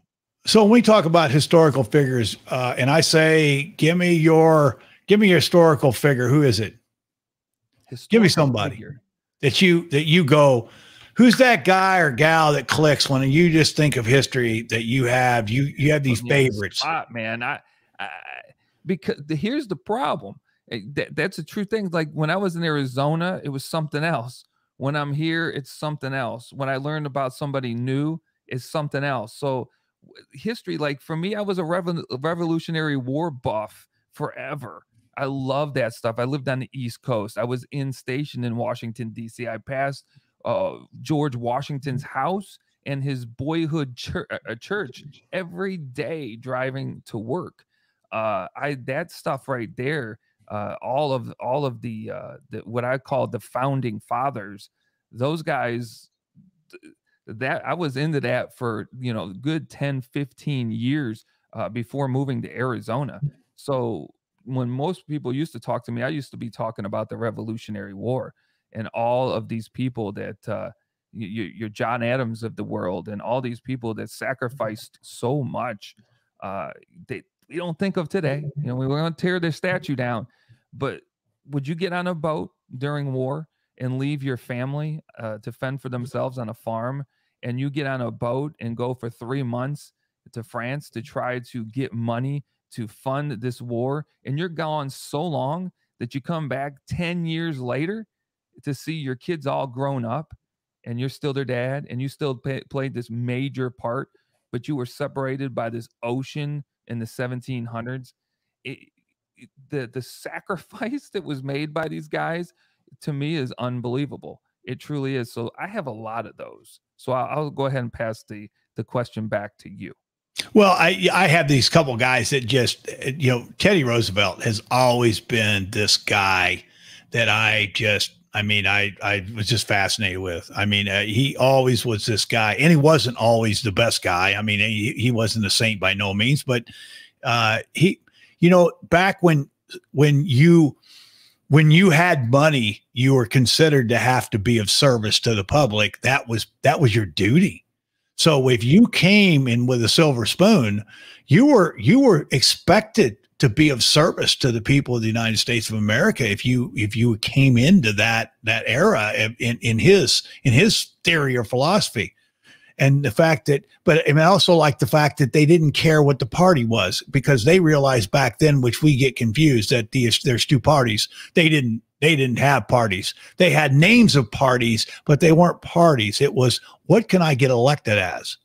And they didn't care which party that was, right? They picked whatever it was, Bull Moose or whatever. They would pick whatever it was to get elected because they didn't care about that. You know, it was a whole different philosophy in a sense as well. And so, you know, even even when he got into office the first time because of an assassination, you know, they said, "Oh my God, this cowboy's coming in. We're jacked now." And you know, I look at all the good that he did, but you know, these guys were all flawed. There's no, there's nobody on this planet that's not flawed. But I look at the work that he did, uh, and and I and I do respect it. It's a great one because if you read the history, he's a sickly kid. Yeah, he has to be schooled at home. He has to be taken care of. He ain't this brute that uh that we think of you know at the you know later on in life when he forms you know the rough riders and stuff like that and uh he, he that's not who he is and he grows into to being this leader this unbelievable leader of men uh just got done reading a book on him uh with the rough riders and these rough riders that met in san antonio in 1898 uh they didn't care they only heard about this guy from New York, this police chief. And then he became uh, the head of the uh, branch of the military. But and he gave that up to be the head of the Rough Riders. And they looked at him like, yeah, that he has, he rode a horse, and uh, he actually chose a horse. They rounded up horses, and uh, there was one that was absolutely crazy, bucking all over the place. And none of these rough guys wanted anything to do with them. And uh, when Roosevelt came in to choose a horse, he chose that horse. And these guys are like, yeah, okay, let's see him. Let's see him get take care of this, get on him and, and break this horse. And uh, as soon as he did that and he showed them that he knew what he was doing, he was a rancher, he was a cowboy, he knew horses. He earned the respect of these roughnecks, man. These weren't normal people. These were guys who were in New Mexico territory, who were in the Arizona territory, who were coming from some rough places. Uh, and they saw Roosevelt do that, and all of a sudden, they they actually went up and apologized to him, and he played it off like he was like, "What are you talking about? Why would you apologize for thinking of me uh, in a certain way?" But he knew what they were thinking. That's why he chose that horse, and that's why he chose to do what he did. And then he led these men, and there's nothing but good things uh, that are quoted by these guys. These over 1,200 guys about how he led and when he talked to you you wanted to get up and run through the door for him there's very few people in life that you come across like that so he is a good one well, you know, the Rough Riders were such a story in themselves as well, because you go to a lot of these different places and you find these guys that were Rough Riders, these unique characters that followed him. And they got a lot of places like the the the uh if you go down to uh uh the mind uh i'm just i just went completely brain dead. But the the guy that ran the mind uh actually was a part of, was a rough rider right? And the name of the, the the town will come to be in a half a second. But when you do the research on the town you realize that oh this guy was a rough rider. So these guys got these specific jobs as well that were elite positions because they were elite characters. I mean, they were the cream of the crop. They were, and also they had the political pull because they were doing the work as well. But uh, you know, it's it's uh, it's incredible that these characters, if you then go follow these characters that followed him, these unique people, because he didn't, he definitely recruited some unique characters. They were uh, uh, uh, unbelievable. Uh, well, you know, really quick throwing in San Antonio, Texas again. Uh, the Menger Hotel, uh, established in 1859. He went there. That bar is named after Teddy Roosevelt because he went there in 1898 and recruited 1,250 uh, of those individuals to be Rough Riders right from that bar. And there was a colonel that was over Roosevelt. Roosevelt was second in charge. And uh, you know, I was in the military a long time. You don't fraternize. You don't usually go to the enlisted club or uh, the officers club and see enlisted and officers mingling together. That was a that's a no no. And uh, the colonel he he agreed with that, but not Roosevelt. Roosevelt went down with uh, with those men in that bar, and he would drink with those men and talk with them about what they were going to do and what they wanted to accomplish, and he won them over by doing that. And uh, that takes a special person back then uh, to not throw his rank or his power around uh, like some of the people did and actually come together with the common man to, you know, to, to, to uh, come to a common goal at the end. But uh, that Menger Hotel is a, is a topic for another discussion on another night. But uh, that place is unbelievable. And Roosevelt pictures all over the walls from when he was there uh, they he actually signed the registry uh, when he was there in 1898. A uh, lot going on there. You know, I it it's uh it's incredible just to to to to follow these guys' stories. You know, and and that's what's important about history. And it may not be the guy that happened to be the president. Maybe it was one of the guys that followed the president, or one. Maybe it was one. But everybody in this in the history has these incredible stories and that's what I want to find. Is I want to find. Uh, uh, so so that's why it's important to me to to pull these people out and to be able to say, hey, it's like the when we talked about those women. That's incredible. That's incredible story that these two people saved the Alamo, and I never heard of it. Uh, so you know, uh, yeah, and and and so Joe Pesci, three thousand. Joe Pesci, sometimes you just don't get it, man.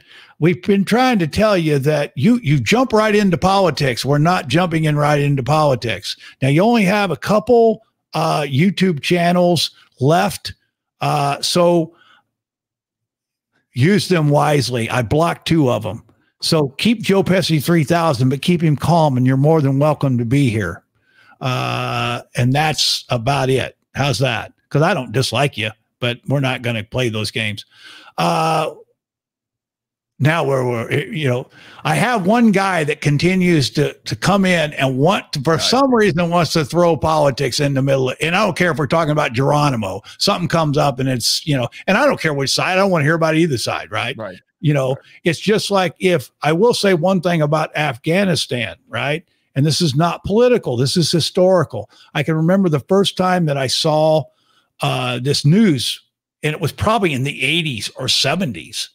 And I remember seeing, uh, I think it was a 60 Minutes, and they were talking about Afghanistan and Russia.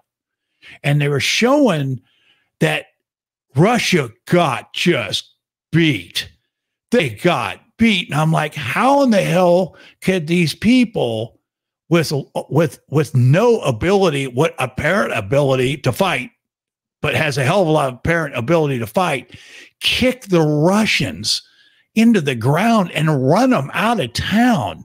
And I was always like, wow, it, wouldn't that be a great lesson you know, that the Russians got handed got it handed to them. The Russians. I mean, we're not talking about, you know, and I was always like, wow, how could that even happen? You know, how could that even happen? Yeah. And and then the rest is then history, right? right? The rest is history. Poor history. You know, hey, look at the Russians. The Russians got their ass handed to them. Maybe we shouldn't do that, you know. But again, we didn't follow the line of history, and that's not political. That's history. You know, we we had the door open, but I can remember that watching that sixty minute show, going, "How did that even happen? How did these people?" beat the Russians into the ground. And I was like, wow. Yeah. No, I'm with you. So there, there, there's the only history that we'll work on right there. Uh, so yeah, it, it, you know, that's what's incredible is that, you know, you get into that and Joe Pesci, yeah, we, I don't need to see your comment every time 50 in a row. Uh, let everyone else uh, oh, and, and also Eric C says Rocky Four. That's exactly the same thing as well. there you go. Rocky Four. That was a good so, one too. Rocky Four. That was a good one. You know, and, and again, so we we go back in. I it was fun to be able to start getting this. I don't know. You know, people probably want to know. We talked about doing just a show where we talked about uh we talked about just talking about history just talking about places we've been, talking about roadside attractions, talking about things that intrigue. You know, also the good thing is is that if there's things that you guys like or want to see, uh, let us know because one of the wars, uh, the one of the wars is trying to figure out what people want to see when you're doing these these kind of shows and and content that people want to know. And we discuss this all the time, don't we? Yes, we do too much, but we do. It, it does um, happen quite a bit, doesn't it? Like, what do we do here? Do we do we prepare? Because I'm not prepared. Um, I we just come on, shoot the breeze really quick.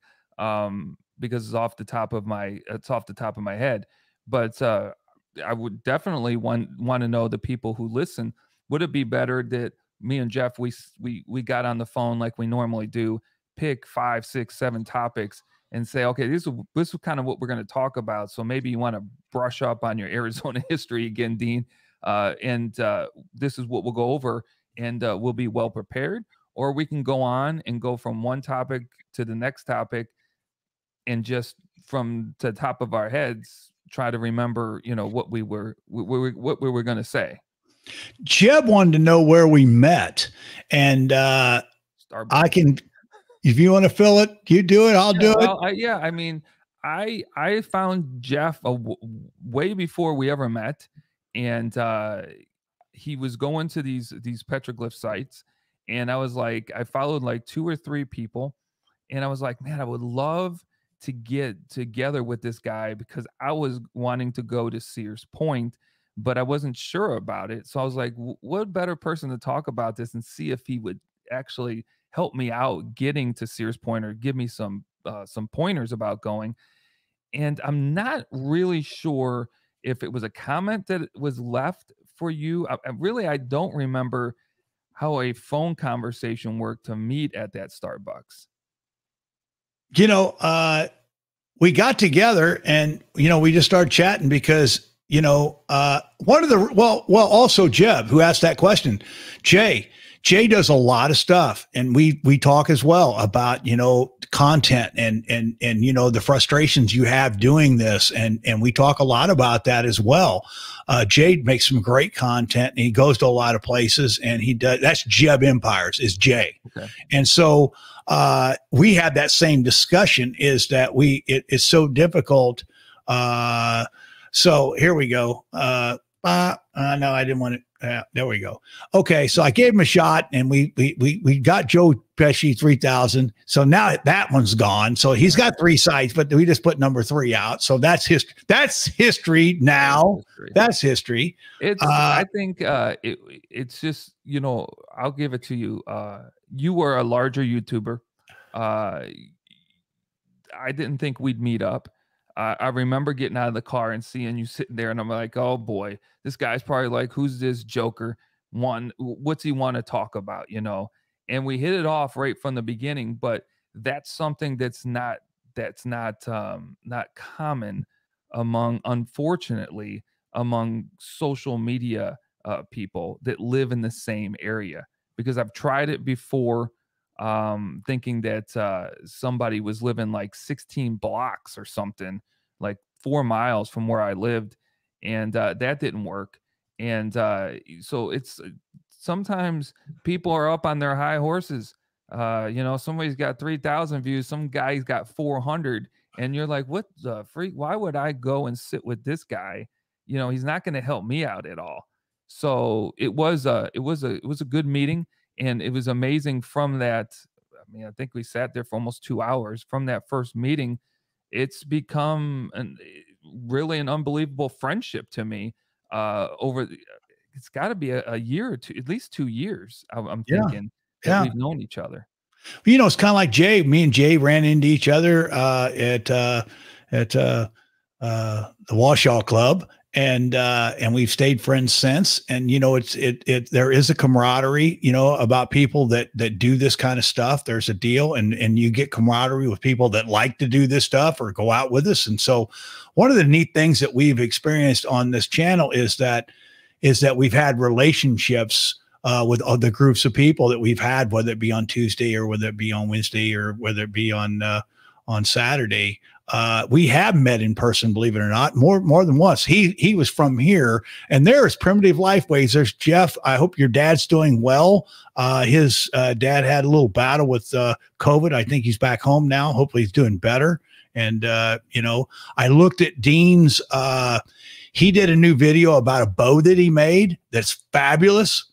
That's fabulous and so that's another another guy that we've bumped into uh, eric c who has a lot of facebook sites uh, unbelievable large uh, travel sites on facebook uh, does phenomenal job. And uh, so a lot of these people are are in that. Joe b i know from from uh, you know from that. Tom i mean all these guys i have some type of a touch because we've become in a relationship just like me and you and it means the world to me. And that's one thing about Dean is, uh, man, we talk about everything, and we he lived close to me, so we could meet up easily, and that made it nice. So uh, I, I I actually appreciate Dean immensely.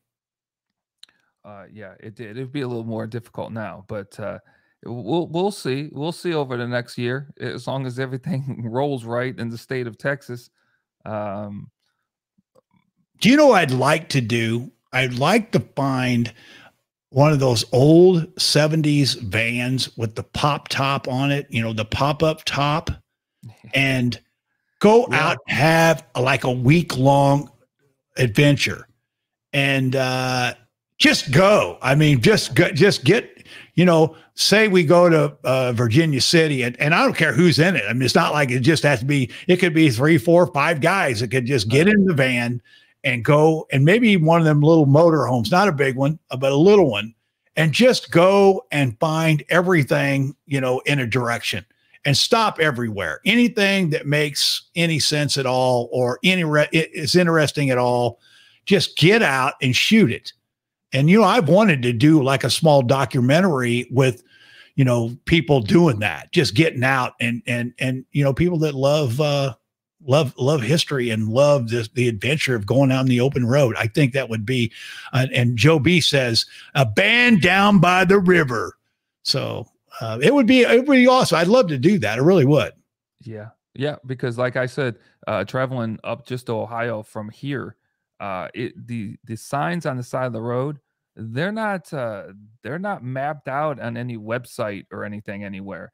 Uh, these archaeological digs uh, that that are out there eh, are unbelievable, and I passed like five of them. Now I don't know if there are mounds or what kind of digs that were being done in Kentucky, but uh, there are quite a few of them, and it's amazing how many historical markers you pass. You know, the state of Texas is gotta be, it's gotta be, it's gotta have the most historical markers of any state, and it's not how big it is it's about how much people love this history. And you can't drive like 20 to 25 miles down a, a state route or a freeway and they have they'll tell you one mile to the right there's a historical marker and you'll go i mean they have a pull off and everything off the freeway for you and if you got to cross the other side of the freeway they make a little road that goes to the other side of the freeway for you to get off and read these markers it's where i found that marker on uh on that uh on that lady her uh, parker uh the last uh the Comanche chief. Oh, Quanah Parker. Yeah, I, I got off the road after going to this dinosaur park to see these dinosaur footprints. And I just happened to say to my wife, let me just pull over here and look at this marker. And the the gentleman who rescued her lived a mile away from that marker. And I was like, that just I'm like, what the, Texas is huge. And uh the, the the one thing that I do know about this this person is it's this person lived here and lived a mile away but texas has more historical markers than i've ever seen and i've lived in a lot of states you know uh I, am looking, you know, I'm looking forward to a good year, but especially here when it cools down. I'm sure it'll be the same with you. Uh, I'm, I'm looking forward to that. Ear check. He, he knows Eric catches me when I when I start working the phones. You get about a couple hours, they start getting sweaty. And I even thought I probably could go without even the headphones tonight, but I went ahead and did it. But uh, you know, uh, I you know I don't know as far as uh, me and Dean just did this. We talked about doing it. He he he called me or texted me today and said, "Hey, you want to go on tonight?" Uh, we said we always wanted to try this and do this, and uh, you know. Yeah, so we'll just see where it goes. Now I'll be on my normal Tuesdays and Wednesdays, or Tuesdays and uh, Saturdays. And uh, if we can do a Friday, I'd, Friday's a good day for me if it's a good day for him. And uh, we'll try it for a while and just see where it goes. And uh, yeah, I, I, I, and and I don't want to even. I kind of like the fact that it's just freestyle. Just get on. You guys got any questions? You got any questions about places? There's not, you know, from the people that's on here, from Eric to Joe B to, to Jay, uh, on and on and on. Uh, Tom, these guys know. I mean, we should know about everywhere uh, in the state the the Southwest to go, whether it be mines or where where whatever it might be. So uh, uh, yes, uh, on this show, donations are shared. yeah. Anyhow. uh, you're using the uh, you're using more bandwidth over there because this is coming from your you know your uh, what is it whatever program that you use I've never used anything on one of my programs. StreamYard. try to get in. Yeah. Yeah. StreamYard. Restream. So, this cost the, the the streaming at 1080. That's the problem. It's not 720 runs about half the bandwidth, but when you go to uh 78 or you go to 12, uh, uh, 1080, 1080, it's three times the amount. So I keep blowing my Cox out. So now I got to up my plan at Cox and have unlimited bandwidth, was going to drop another hundred bucks or so. But I mean, that's just, it is what it is, you know? So it is what it is. So, you know, hey. That's why at some point you would like this to, uh, to make money to not, not to be rich, but, uh, to, to, you know, to, to make money, to pay for just things like that. That's yeah. why I tell people all the time, gas, just gas. You know, eh, that's all. There's Eric right there, 25 a piece right there, Dean. We appreciate that, Eric. Thank you very much. And uh, you know, hey, uh, we'll make it work. And and we do appreciate that because the the places that you go and the things that we do. Uh, I will be having a well, I won't get into that because that's not. We'll do that uh, on Tuesday. We won't get into it tonight because we're going to have a Black Flag meetup. And if you were here, Dean, you come up. We're going to go to the ranch. Oh, and uh, okay. so yeah, it's going to be hopefully interesting. And uh, I do have I do have stickers coming as well for Tuesday. So we got we got we got some good stuff coming this direction. Who won the patch the other night? Uh uh Kim. Okay. Kim Johnson did. And uh that new system, did you see that new thing I've got that that Oh my God, that was free. That was off StreamYard, but that was free. That was so fun. I I I I did one Valerie also. I got to send Valerie something, but I got Kim's off in the mail. I got the patch off, but that's so neat to do that. It takes every every uh, sidebar uh, comment. If you if you comment, it puts you in in in the contest, and so then you it you you roll it through, and it works out perfect. Nice. So it was awesome. I, I enjoyed it. I really did. Has anybody else got any questions on here? Uh, you, how Dean? How are you doing? Time? You good? Yeah, I'm. I'm fine. Whenever you want to. Uh, well, the, the, let's take a call. Let's try a call on this show and see how it works with both of us, and see if you can hear it as well. So, uh, somebody call in so I can get, uh, so we can see how this is going to work when we get uh, phone calls if we go down that that route. So we can kick that up. So if anybody wants to call in, then I can also see if I'm actually set up to be able to do this. Uh, because you guys know lately I've not done a great job at that, but I'm trying. I'm trying. Dean, Dean I'm somewhat handicapped. I mean, I there's no doubt. I mean, you know, all I say is give you credit for at least trying and, and, and producing a good show. I look at all the what I got on on my end to do, and I'm like, I know I can take phone calls. I've done it to myself to to do this stuff, but when you get into a show and you run in your banners and you're making phone calls and you got people on, it it does. It takes it's a production. Yeah, it does. It, Jurassic Park uh, Dinosaur wants to call in. I don't know them, but go ahead, call in and uh, give it a shot, man. I'm here for you. So call in and see what. And if you got questions for me or Dean uh, or anything else you want to talk about, so yes, you can. Anyone can call in on this. Uh, I got a phone that's getting ready to die on me though, so so call in quick. Uh, so uh, there it is 480 580 9750 Uh, one thing I can tell you is there's not too many places that I have not been, Dean's not been, Jay's not been, Eric's not been, Tom's not been, uh, AH has not been, Joe B's not been. Uh, so we should be able to cover the Southwest pretty well, especially uh, Arizona. So, uh, so Jurassic Park dinosaur, there is the number. All you got to do is call it. It is 480 580 9750. Is it toll uh, free? Uh, and anyone can call in. I don't care who calls in. If you guys want to call in and chat, uh, AH can call in. I, I text AH this week, so I know him well now. So, uh, oh, eight. Oh, here we go. Jeff Martin's going to call in. So let's get Jeff Martin in here. Jeff Martin, what's up? Hey, Jeff and Dean, how you guys doing? Man, I'm doing awesome. I'm doing phenomenal. Yeah, too. yeah. I, I just I just joined in and saw you guys were doing the show. Thought I'd call in and say what's up. Well, you know, we tried this. We're trying this, and we're going to talk about history throughout the Southwest, and who knows where it'll go from there. But uh, uh, glad to hear your dad's doing better. First, and then yeah. second, that video production was excellent, sir. Just oh, so you saw it? Absolutely. Watched all of it. I'm not qualified to build a bow right now, but I watched all of it. What 31 or 32 minutes, somewhere in that range? Yeah, yeah. I think it. I think it ended up about 32 minutes, and boy, that was. I'll tell you, that video was a lot of work. I mean, the behind the scenes on that was just the editing and the voiceovers and the music. It, it was. It, it really was a lot of work. So I, I definitely appreciate it. And uh, you guys are doing a great job as always.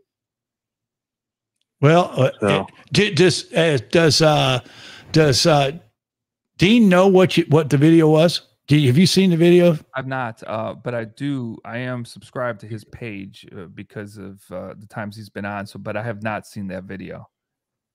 So he did a bow uh, an ancient bow, and it's fabulous. I mean, it it actually is. I mean, see, he gets in doing the stuff where I just go find stuff. He actually goes in depth and goes, "Hey, you know what? Maybe we should figure out how these people lived."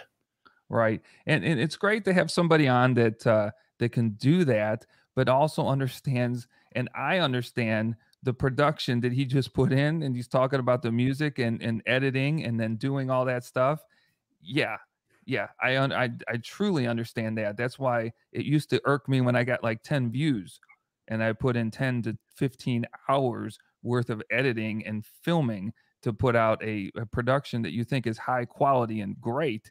And uh, but I, I, like to hear that. I like to hear stuff like that.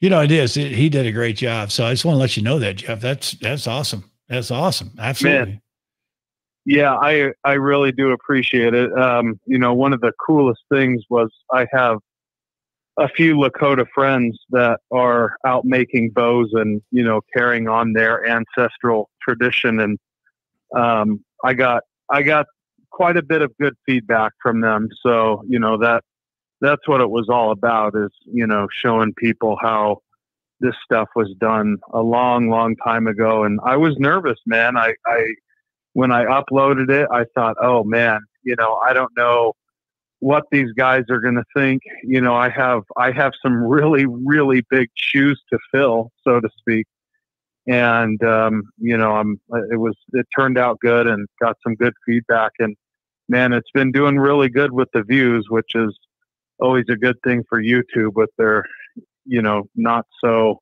great algorithm. But anyway, um, yeah, I just wanted to pop on real quick and say I'm watching you guys, and you guys are, of course, doing a good job. Uh, keep up the good work, and um, yeah, good to see Dean's at it again. And um, yeah, we will we will have to get out there, Jeff. I have.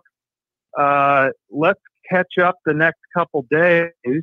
Um, on the phone because I've got a couple items that I want to uh, talk to you about for your next giveaway. So perfect. That's awesome. I'd love that. So I'll awesome. chat with you. I'll chat with you soon, and uh, I'm glad to hear your dad's doing better, man. That's awesome. It really is. I appreciate it, guys. It was it was definitely a scary thing when you know the doctors tell you, uh, you know, prepare your family. You know, he might be in ICU, and a lot of people don't make it out of there. It, it, it, boy, that was that was a very stressful week. But things are looking bright, and you know we're just hoping and praying for a full recovery. So you know we don't want to another downslide like what happened before. Anyway, won't take up too much of your guys' time, and have a great stream. We'll catch you guys later. We'll keep you in our prayers, brother. Thank you, man. Take Jeff, care. I'm just going to step aside for just one one minute. I just got to take care of something. I'll be right yeah, back. Go ahead. Uh, Jurassic Park dinosaur. Uh, call me. Uh, Joe P, JP, Jurassic Park. Call me. Uh, but this isn't. I don't know what why you haven't figured this out yet, though. There's three shows, and there's three different shows. This is a new different show.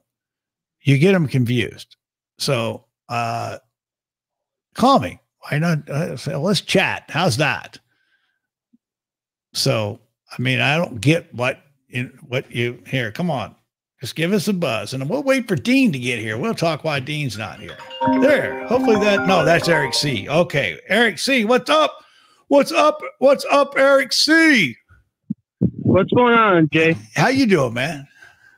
Or Jeff? Sorry, it don't matter. Um, I'm, I'm everything and nothing at all.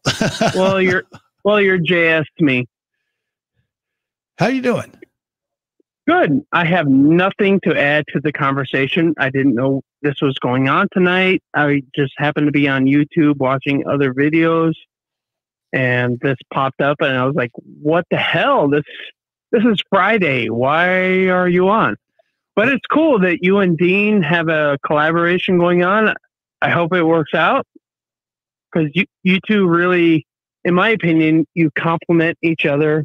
Um, he is super knowledgeable, and so are you in ancient things and and history of the Southwest. Sorry, my dogs are freaking out, but um, it's to me, you guys together are the perfect dream team as far as Southwest history. Oh, cool. We appreciate that.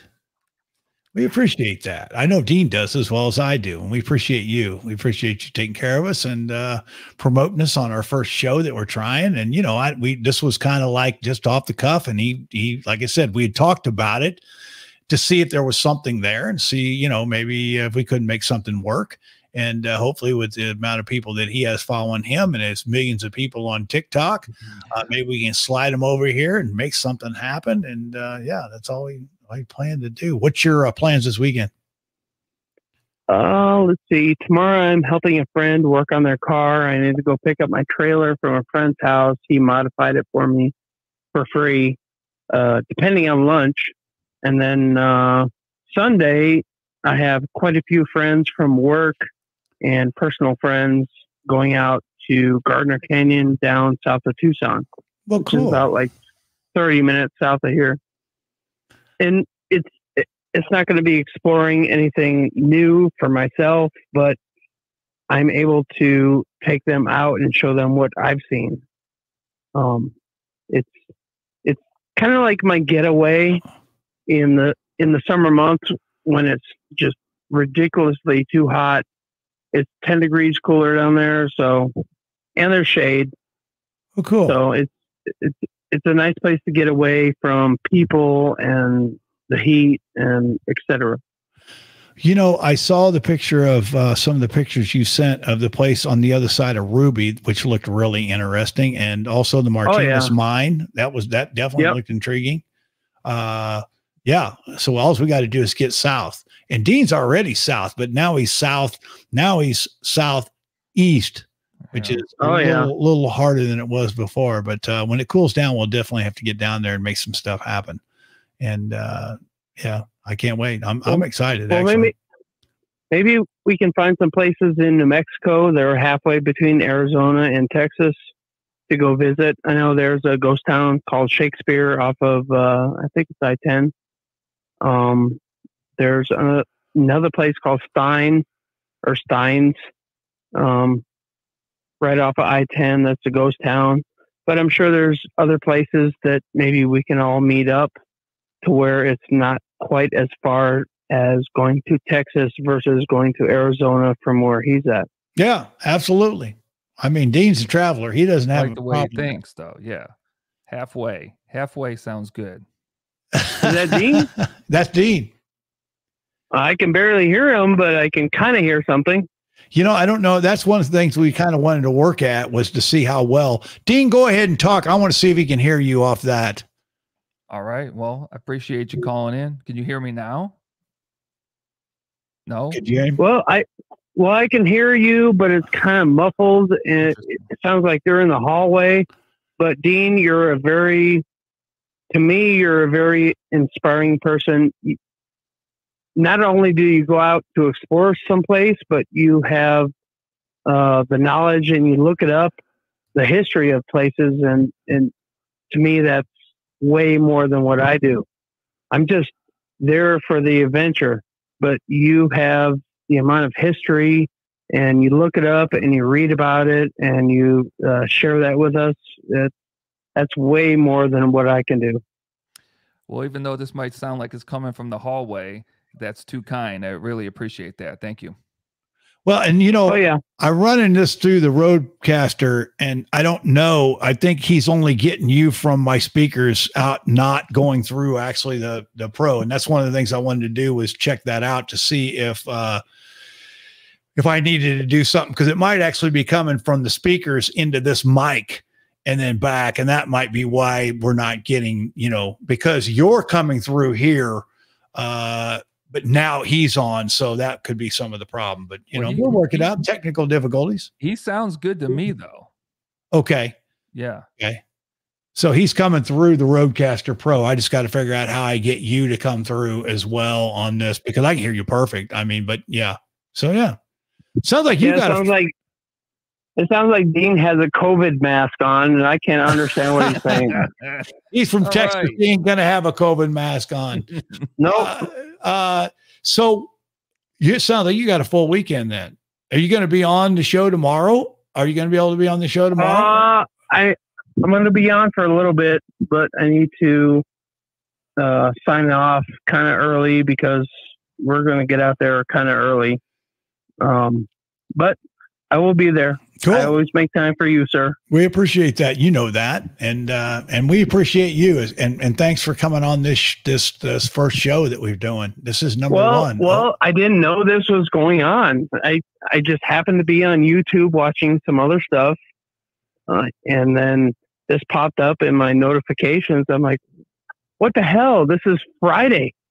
What's going on here? well, we just but- changed it up. Is it, we didn't know before you did almost. You knew about the same time that we did that we were going to do this.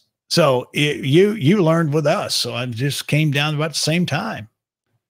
Well, it's awesome. I'm I'm so glad you have a collaboration with Dean because I think you guys really complement each other as far as exploring and history and knowledge. Um, I think I I had always thought that was a good thing between you two. So I'm I'm glad you're working it out and figuring out how to expand boundaries of state lines. Absolutely. That's what we're doing. Crossing state lines. There's our promoter right there. Sure. Absolutely.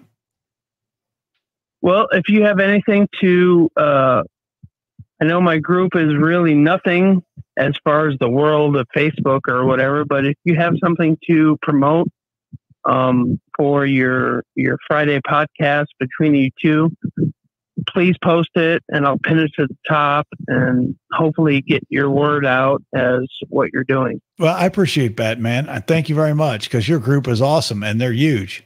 What, 40,000 people? Yeah, it's over 40,000 now. 40K, Dean. Dean, Dang. hey, you got Dean's attention on That's that. Facebook.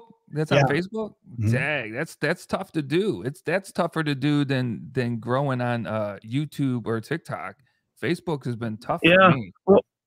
Well, I have a TikTok page, but it has nothing to do with my group. It's more politics, and I'm not going to share it here because this is not the place to do it. But, um, yeah, please post up in my group, and and I'll help you promote whatever you got going on because you guys are friends of mine.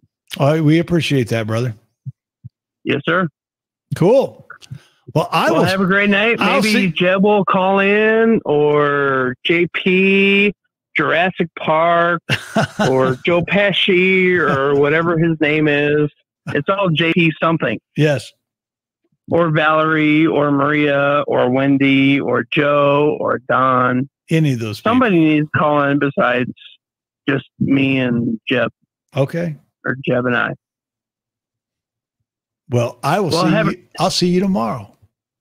Yes, sir. Have a great night. Thank I you, will man. see you online tomorrow. You're awesome. Have a great night, Dean. Thank Take you. care. That was Eric. That's awesome. Uh, you know, getting some calls in. I, you know, that's something we can do too, is we can open up the lines. I'll figure out what we have to do to get uh to to be able to hear through this because it's something coming through this mic or through the uh through like that. Say, But, uh, um, yeah, if they don't need to hear, I mean, like I say, I I'm hearing him really good through through my headphones. Yeah. it's got to be coming through your your your board there, not through a speaker. Yeah. And I've been I just cranked it up. So if it's coming through the speakers and got to bounce off, at least it'll it'll will give it a little help. But Yeah. uh, you know, either way. But uh yeah. So yeah. Well as great as these boards are, they can get better. But these things, I'll, I'll say this: the best purchase ever yeah I ever had was one of these things. So solid. Solid. That in the mic. That in the mic. I have no man. I have no complaints. Absolutely none. Well, you know, we've been on here for two hours and eight minutes. Uh, I think for the first show, that's definitely long enough, right? I think I, I believe it is. And uh, can you make Friday again? I can. I I don't see a problem with that. So I'll post I'll post it up and we'll come up with some ideas. I'll talk to him this week. We'll chat about what how we want to do it, but we'll be here next Friday and uh, we'll give it a shot. We'll keep rolling until uh until it either you guys get bored or or we do. I appreciate everybody. Thanks for the donations. We appreciate that sincerely. We got what do you what how do you want to end this? Dean? you know i just thank everybody who came on hopefully like i said hopefully we can provide some entertainment and uh some information and uh, like i said i i love the back and forth We got I one more. Oh, We got all right, Jay coming in. all right We got Jay coming in before we get out of here, and we're going to get Jay on here. Jay, what's up? I know you're ready to go, big guy, but I do have some sort of very important question for the timeless course, and also I would like to see if maybe I can hear his response via this transportation, this uh, transmission. Now we had discussed the Alamo a little bit the other night. Uh, it was one of my favorite visits while I was there around 2010, and there's a little bit of an inaccuracy um, that I'm noticing and would like to clarify.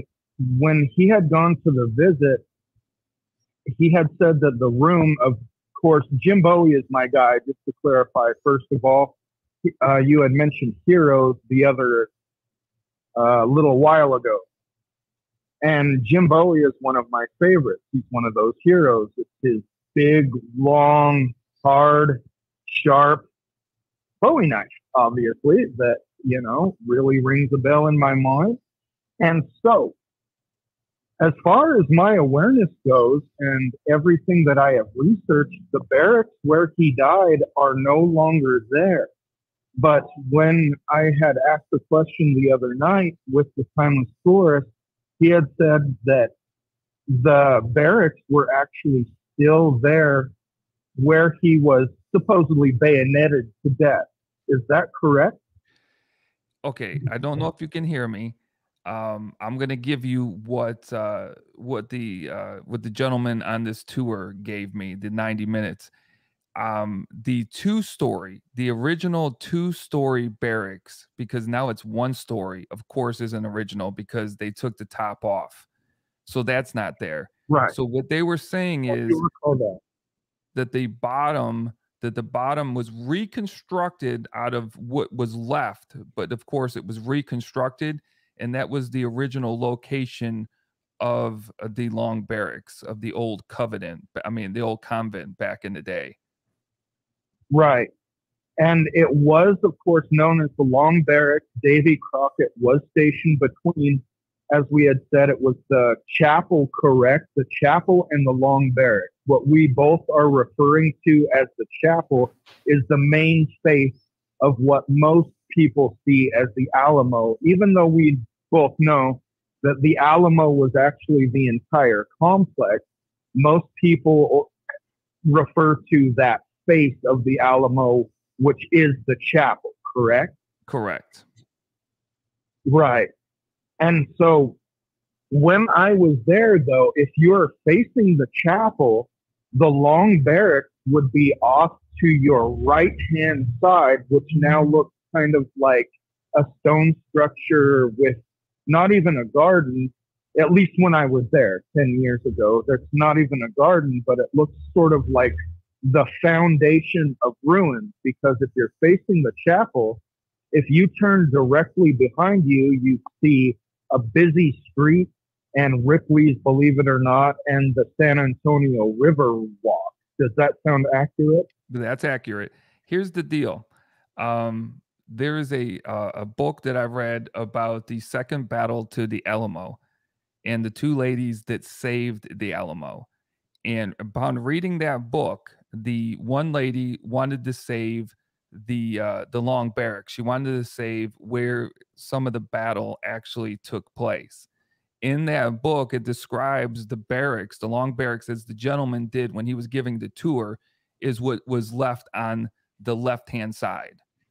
So facing, Huh. yeah, towards the left. And you will find if you ever go back there, um, I'm actually going to go do a live at some point in someday. You can watch the replay if you can't get to it. There's an actual sign there dedicated to those two ladies for saving that barracks in that area. So the sign is is where Davy Crockett would have died. That little plaque they got on the ground. If you walk through that area right there, right to your left, they have a dedication plaque to those two ladies for saving the long barracks. Right. And so, uh, as far as my obsession with Bowie goes, though, all of the diagrams that I am seeing, including the one that goes back to the old collection of books that I had had many years ago, it's a brown hardcover collection. Some of them is titled The Women or The Wagoneers or The Gunfighters. This one in particular started from a book called The Texans. And the diagram, even after I Googled it, the other night, it leads back to the long barracks being, if you're facing the chapel, it seems to be directly to the right of you. And that was, as far as these diagrams, they keep saying that this was Bowie's room. It almost seems one of the closest rooms to the chapel. And the other night, you had also said, of course, it is two stories. And um, did you say that Jim Bowie would have died in the long barracks on the second floor before it was destroyed? Uh, if I maybe I've said that, but uh, all the information that I was given was that he died in one of those rooms, so it wasn't on the first or the second floor. You know what? If you hold I for see. just one second, I got a um, I picked up a um, a diagram that's sitting right here on this dresser, and I just want to open it up. It's supposed to be uh, what it actually looked like, and I wanted to see if there's anything uh, showing on the right side of that chapel. So hold hold on one sec. We got diagrams. That's awesome. I like diagrams. Diagrams are good. is, How you doing, Jay? How you, you doing well? Well, I'm doing very well. Um, I do need to let it know for the sake of the format, I cannot see the podcast while I call. And Okay. so it's strictly phone call. He sounds extremely distant in the audio, although I can make out a lot of what he is saying. And oh, I would love to have this discussion so much. Um, I can vaguely make out uh, what he is saying and all of his awesome knowledge and I can hear you very well. However, at the time, I cannot look at the live video that is being shown because it my phone reverts just to the phone call. Okay. Okay. Okay. But still, it would be good uh, for anyone who's interested who may be able to see off of his camera because yes, he absolutely looks very clear there. Um, when I'm not on the phone, obviously. Right. Right. All right, so I'm going to hold this up. This is like a just a a cuckoo little map that they did to show you kind of where where Travis died and where things were at. And uh, you can look at it a little bit later, but this is from Yeah. Back. I'm going to put you big, Dean, just and figure right, out a way to get you big. right right here is the the chapel. There's nothing on the other side of the chapel but a wall. This over here, dang, uh, Yeah, I can see it pretty good. Yeah, this over here is the actual long barracks, and that's what's left there today. So, looking at the diagram, there's nothing to the right hand side of that chapel. All of that, uh, all that stuff that they have there today, that long fence. Uh, they have a museum back there. If you pay for the audio tour, you can actually go back to the museum that was uh, run by the daughters of the uh, uh, I believe the Texas Republic, and uh, they have a museum back there with some unbelievable artifacts in it. But there's nothing to the left hand side but breastworks and stockades uh, to the right hand side. So if you're looking at it straight ahead, everything is off to its left. Ah, bizarre. I guess at some point, hopefully, we all get to have the meetup to discuss this when I can actually see it as well. Because, um, obviously, what I saw from the long barracks, it's in front of the chapel, but a little bit to the right, not directly to the right. And I probably should have clarified this. Um, but it would be in front of the chapel and to the right where ruins were there when I was there. Um, nevertheless, I hope to discuss in the future and not keep you guys too long because I know you guys are ready to call it for the night. And uh, it's been an interesting Friday night. Look forward to a whole lot more of the adventures with the time of tours. And Mr. Shrek is always on the ball on the things that he does as well. And so I do hope to have this, this discussion further, especially face to face over some drinks and some good food at some point. Thank you, Timeless Tourist. Thank you, Mr. Shrek. And I will see you later. I will see you tomorrow, my brother. I'll be there. Thank you, man. And, and That's awesome. maybe he has something like the the diagram uh and stuff that that that I bought was supposed to be like a like almost like a reenactment diagram so you could actually see what it actually looked like it almost feels like we don't have our left and our right like he's, Right, he's saying that you're facing the chapel and then behind you is Ripley's believe it or not and all that stuff is true but if you're facing it The only thing is to the right is is a is a gate now that they made a garden area out with a with a uh, history museum, and to the left is all that's remaining of the long barracks. And and I'll stick with it only because that's where they have the plaque to those two ladies and that's where they're actually doing an archaeological dig in the long barracks on the floor so they're actually digging up the floor that's it used cool. to be a museum and uh and it used to have a grocery store back in 1877 in it and when they took it over so it and that was the part that had the grocery store so not uh, it would be it would it's, it's, tough over the phone when he can't understand me or see the picture right. so well eric c wants to uh, make sure that you have a dance video like this one. So I'll play this one because he wants to, he's requesting that you also shoot one. Man, it would have been a great in front of the Alamo if you'd have shot one like similar to this. And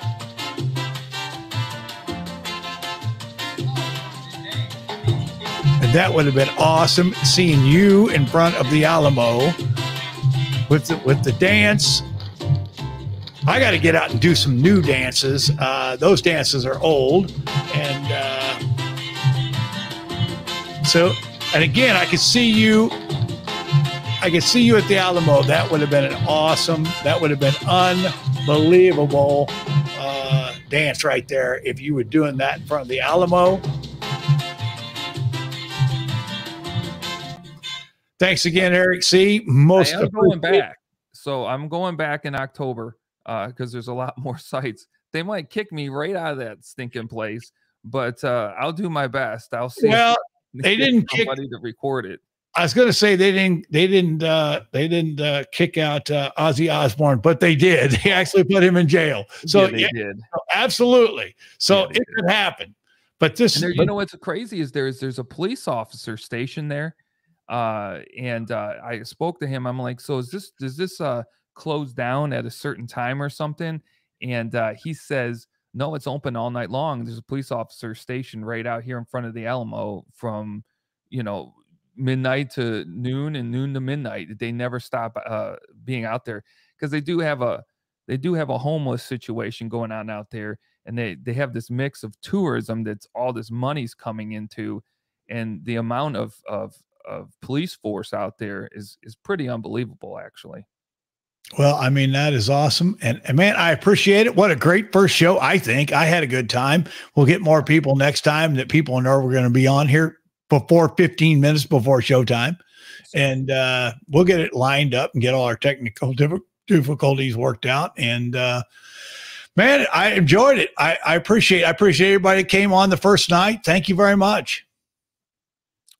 All right you're going to have to cut me off because I can't cut myself out of here. I, I will do so. Thank you, sir. It's been a pleasure Bye-bye. as always. Thank you very much. Dean, the timeless tourist, and I appreciate you guys. You know, I love you to death. And uh, man, what a great day. Eric C, J, Jeb Empires, AH. Uh, who else do we have? Mike Weller. We have Tom. We have uh Jurassic Park dinosaur. uh, yeah, you man, just just be cool and we'll, we'll all be good. Nobody get you can't hardly get kicked out of here, but you figured a way out. But uh, uh, so uh, yeah, and so hey, tell everybody that we're on Friday as well as we are. And uh, man, you guys are awesome. And uh, Primitive Lifeways, Jeff, that was cool. Uh, three great call ins and three great people. And Joe B, there's Joe B. I think that's about it. Man, you guys are awesome, man. That's about all for tonight. And uh, man, have a great evening. And guess what? I will. I'll see you tomorrow, and we will be talking about some pretty cool stuff tomorrow. So hang on. Oh, Valerie, I forgot about Valerie. There's Valerie. Uh, tomorrow's gonna we're we're we're we're getting ready to get in the car and take a road down the uh, down the uh, the endless highways. So I will see you later. Take care of yourself. Be good. I'll talk to you. Adios, amigos, from me and the Dean.